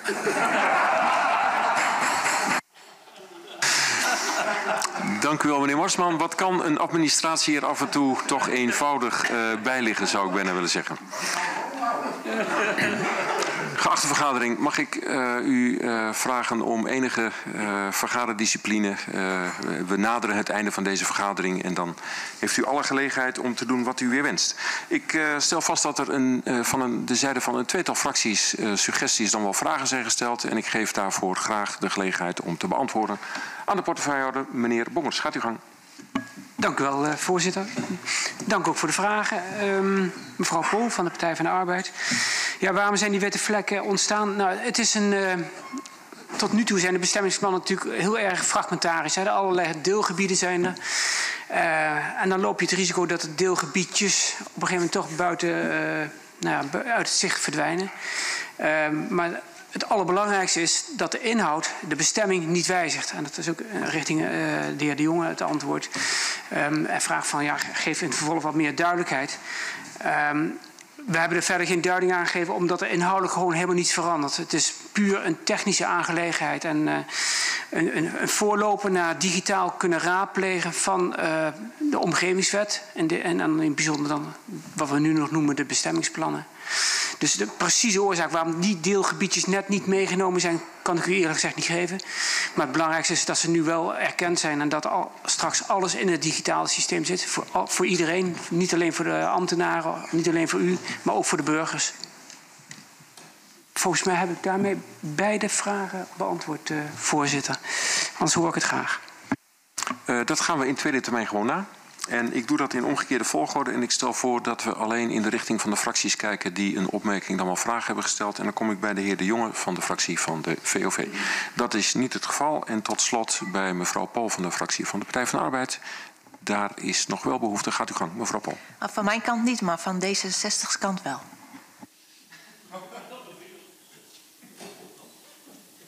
Laat ik nou toch in mijn administratie een uh, st liggend streepje hebben genoteerd... ten teken uh, dat er geen vragen waren. Maar meneer Mors, u heeft recht op uw tweede termijn als u daar gebruik van wilt maken. Gaat u gang. Ja, dank u voorzitter. Uh, het is eigenlijk meer een vraag uit interesse. Uh, en het blijft een hamerstuk wat ons betreft. Uh, maar er zijn nu bij het doorakkeren van alle bestemmingsplannen... zijn er dus witte vlekken ontstaan. Er zijn er ook bij het doorakkeren ook zwarte vlekken ontstaan, waarbij er juist een dubbeling was. Dat was even een vraag uit interesse die ik, bij mij hier op puntje van mijn tong brandde. Dank u zeer. In dat geval gaan we nog even snel richting uh, wethouder om te horen hoe dat zit met de zwarte vlekken. Gaat u gang. Dank voor de vraag. Ja, er zijn, dus sommige plekken zijn dubbelbestemmingen. Die, zijn, die bestaan inderdaad. Uh, ik zou ze niet als zwarte vlekken willen betitelen, maar dat bestaat inderdaad. Ja.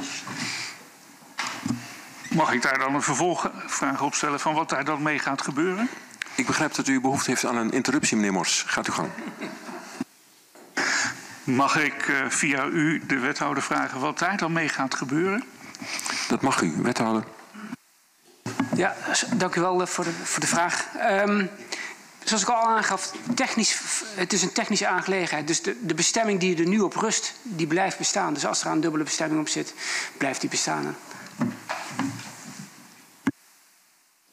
Dank u wel. Uh, geachte vergadering, ik krijg stellig de indruk dat dit als hamerstuk bestempeld kan worden. Ik kijk even rond als er wellicht alsnog behoefte is om het te bespreken in de aanstaande raad. Dat lijkt niet het geval. We besluiten dit als hamerstuk naar de raad van 28 oktober door te schuiven. Dan komen we vanzelf bij de rondvraag, agenda punt 8. Uh, zoals aan het begin van de vergadering al gezegd zijn er bij de, van de zijde van de fractie van het CDA een tweetal vragen. De eerste vraag uh, gaat gesteld worden door de heer Leuwik en die heeft alles van doen met uh, de handhaving van corona-gerelateerde zaken. En ik uh, praat even de tijd vol uh, in afwachting van de betreffende portefeuillehouder die uw vraag gaat beantwoorden nadat u uiteraard uw vraag heeft gesteld. En uh, ik geef u daar nu de gelegenheid voor. Meneer Leuwik, gaat u gang. Ja, dank u wel voorzitter. Uh, eerst even vooraf. Vanaf 30 september, jongsleden, werden de coronamaatregelen verder versoepeld. Maar nog wel met de inzet van zo'n coronabewijs. Voor een deel van de Omme horeca was de maat echter toen vol en gaf aan niet te zullen controleren op het toegangsbewijs. Na overleg tussen horeca en burgemeester Vromen is men toch overstag gegaan. De gemeente Ommen en de Koninklijke Horeca Nederland, afdeling Ommen, roepen bewoners nu gezamenlijk op om zich te houden aan de regels van het toegangsbewijs. Een rondgang langs een deel van de horecaondernemers in Ommen leert dat er nog geen eensgezinde eh, steun voor het toegangsbewijs is en er door sommige horecagelegenheden niet gecontroleerd wordt, ofschoon er duidelijke afspraken zijn gemaakt. En dan de vraag, wat zijn de ervaringen in Ommen tot nu toe rondom de handhaving door de horeca in zaken de coronapas? Dank u wel. U bedankt meneer Leuwik. Ik geef het woord aan de portefeuillehouder. Meneer Vromer, gaat u gang. Ja, voorzitter, eh, dank u wel voor het woord en ook dank, eh, dank voor de vraag. Ja, wat de heer Leuwik eh, terecht ook al aangaf, op 21 september zijn afspraken gemaakt tussen de horeca, de politie en de burgemeester over de naleving van de regels die op 25 september van kracht zijn geworden. En die uh, afspraken die zijn gemaakt vanuit het uitgangspunt zoals we dat de afgelopen anderhalf jaar uh, al hanteren. Dat we in vertrouwen met elkaar uh, omgaan. En 21 september hebben we dus ook binnen de, binnen de context van de coronaregels aangegeven hoe dat de horeca daarmee om zal gaan. Op 25 september zijn de regels van kracht geworden. Dat was op, als ik het goed heb, was dat op de zaterdag. En op 26 september uh, is er in overleg met de horeca een grotere alertheid van de politie geweest. Omdat er wel wat zorg was hoe het publiek zou reageren op de horecaregels. Vervolgens hebben wij uh, op uh, begin van de week van 27 september uh, een evaluatie laten opstellen door onze toezichthouders. Naar aanleiding van de ervaringen. En heeft er ook een contact plaatsgevonden met horeca te Ommen. En daar hebben we vastgesteld, hebben vastgesteld hoe de ontwikkelingen waren op, dit, op dat moment. En dat, dat was positief. Er waren, er waren positieve signalen vanuit, vanuit de horeca. Uh, vervolgens, uh, uh, maar er waren ook signalen over, over niet-naleving. Die hebben we ontvangen. zowel vanuit de samenleving en uiteindelijk van de horeca zelf. Die, zijn, die zijn verzameld en na dat weekend is er contact geweest met de, de, ondernemers waarvan de naam werd genoemd als zijnde partijen die de regels niet naleefden. Daar heeft de mede, onze medewerking Openbare Orde en Veiligheid contact mee gehad. Ik heb zelf contact gehad met de voorzitter van de Koninklijke Horeca Nederland in Ommen. En we hebben samen vastgesteld dat we afspraken hebben gemaakt en dat iedereen zich ook aan die afspraken uh, dient, uh, dient, te houden. En naar aanleiding van, de, van dat contact heeft de voorzitter van, horeca, uh, van de horeca in Ommen een bericht uitgestuurd aan zijn, aan zijn collega's. Met een dringende oproep aan zich, om zich aan de regels te houden. En ik heb van hem vernomen dat ook de voorzitter van de horeca Overijssel zich uh, in verbinding heeft gesteld met, uh, voor zover ik weet, de ondernemers die klaarblijkelijk niet aan de regels hebben voldaan. Dus dat is de situatie over de ervaringen tot nu toe. Uh, daarnaast uh, heeft deze week nog wat anders uh, plaatsgevonden. Ik heb namelijk contact gehad met de teamchef van de politie en ook met de secretaris van onze gemeente. En we hebben afspraken gemaakt om komende weekend ook een wat strakker toezicht te organiseren. Daar heb ik de voorzitter van Horeca Omme ook over geïnformeerd dat we dat zullen doen. Uh, en, ik heb, uh, en ik roep dus ook uh, dringend alle ondernemers op om zich te houden aan de afspraken die we met elkaar gemaakt hebben. Want als we, als, ja, dat, als, als, als we ons niet houden aan de afspraken die we met elkaar maken, dan wordt het gewoon wel heel erg ingewikkeld in deze periode. En ja, willen toch eigenlijk in de situatie blijven die we de afgelopen anderhalf jaar hebben. En voorkomen dat ze dadelijk we ook echt strakker moeten gaan, strakker moeten gaan optreden en handhaven. Um, dat uh, neemt allemaal niet weg dat naast deze, deze mededeling over de wijze waarop zal worden opgetreden, overigens geldt daar eerst een waarschuwing, dan een bekeuring of een last onder dwangsom. Er zal worden gecontroleerd uh, niet alleen op het naleven van de coronaregels, binnen de context zoals die zijn afgesproken. Maar zal ook gecontroleerd worden op het naleven van de sluitingstijd. Die is 12 uur zoals u weet. Daar zijn ook aanvullende afspraken over gemaakt.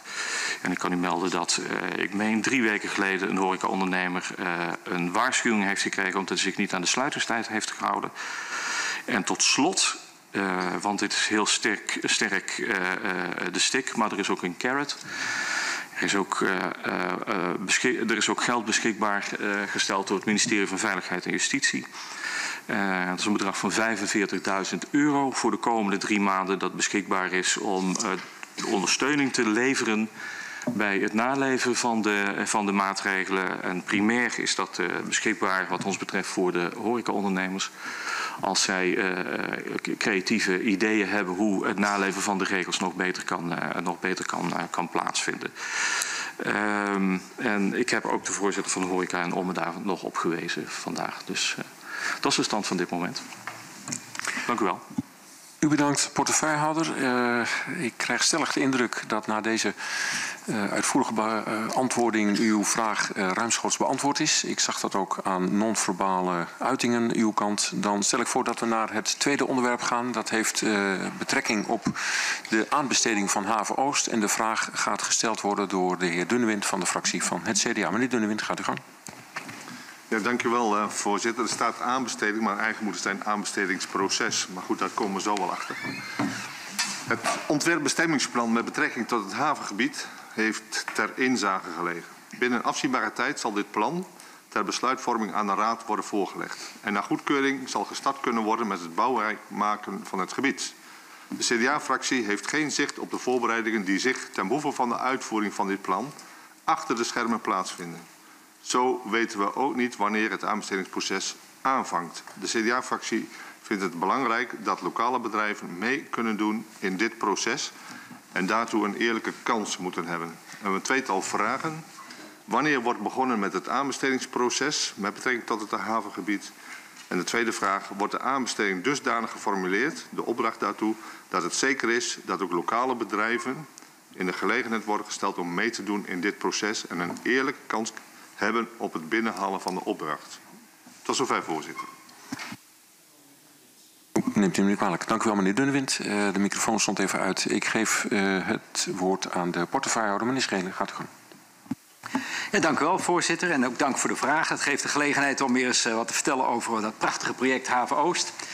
Um, hoe staat het ervoor? Uh, de werkzaamheden uh, met betrekking tot de sloop en de sanering, hè, daar gaat het in eerste instantie om, worden uh, nu voorbereid. En we zullen naar verwachting eind dit jaar de zaak kunnen uitvragen.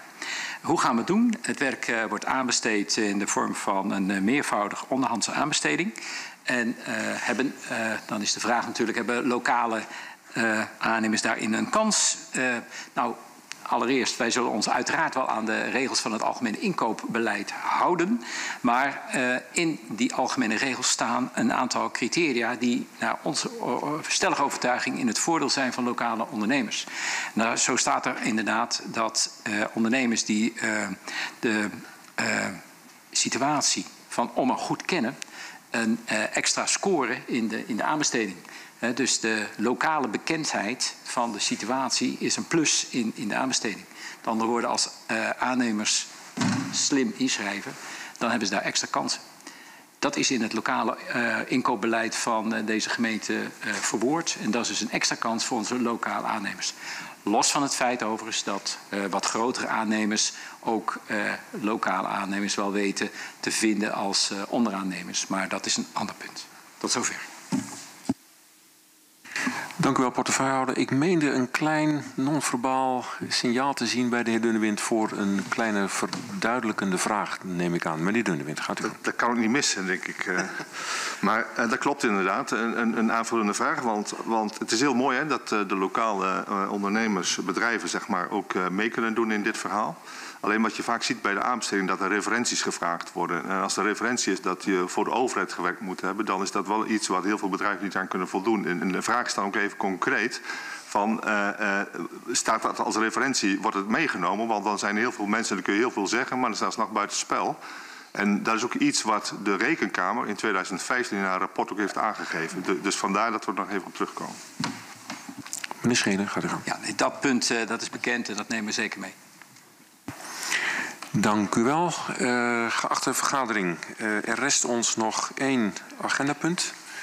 Zijnde de sluiting. Die verricht ik bij deze om 22 uur 5. Ik wens u allen een genoeglijke voortzetting van deze avond en zie u graag uh, een volgende keer weer terug. Tot dan.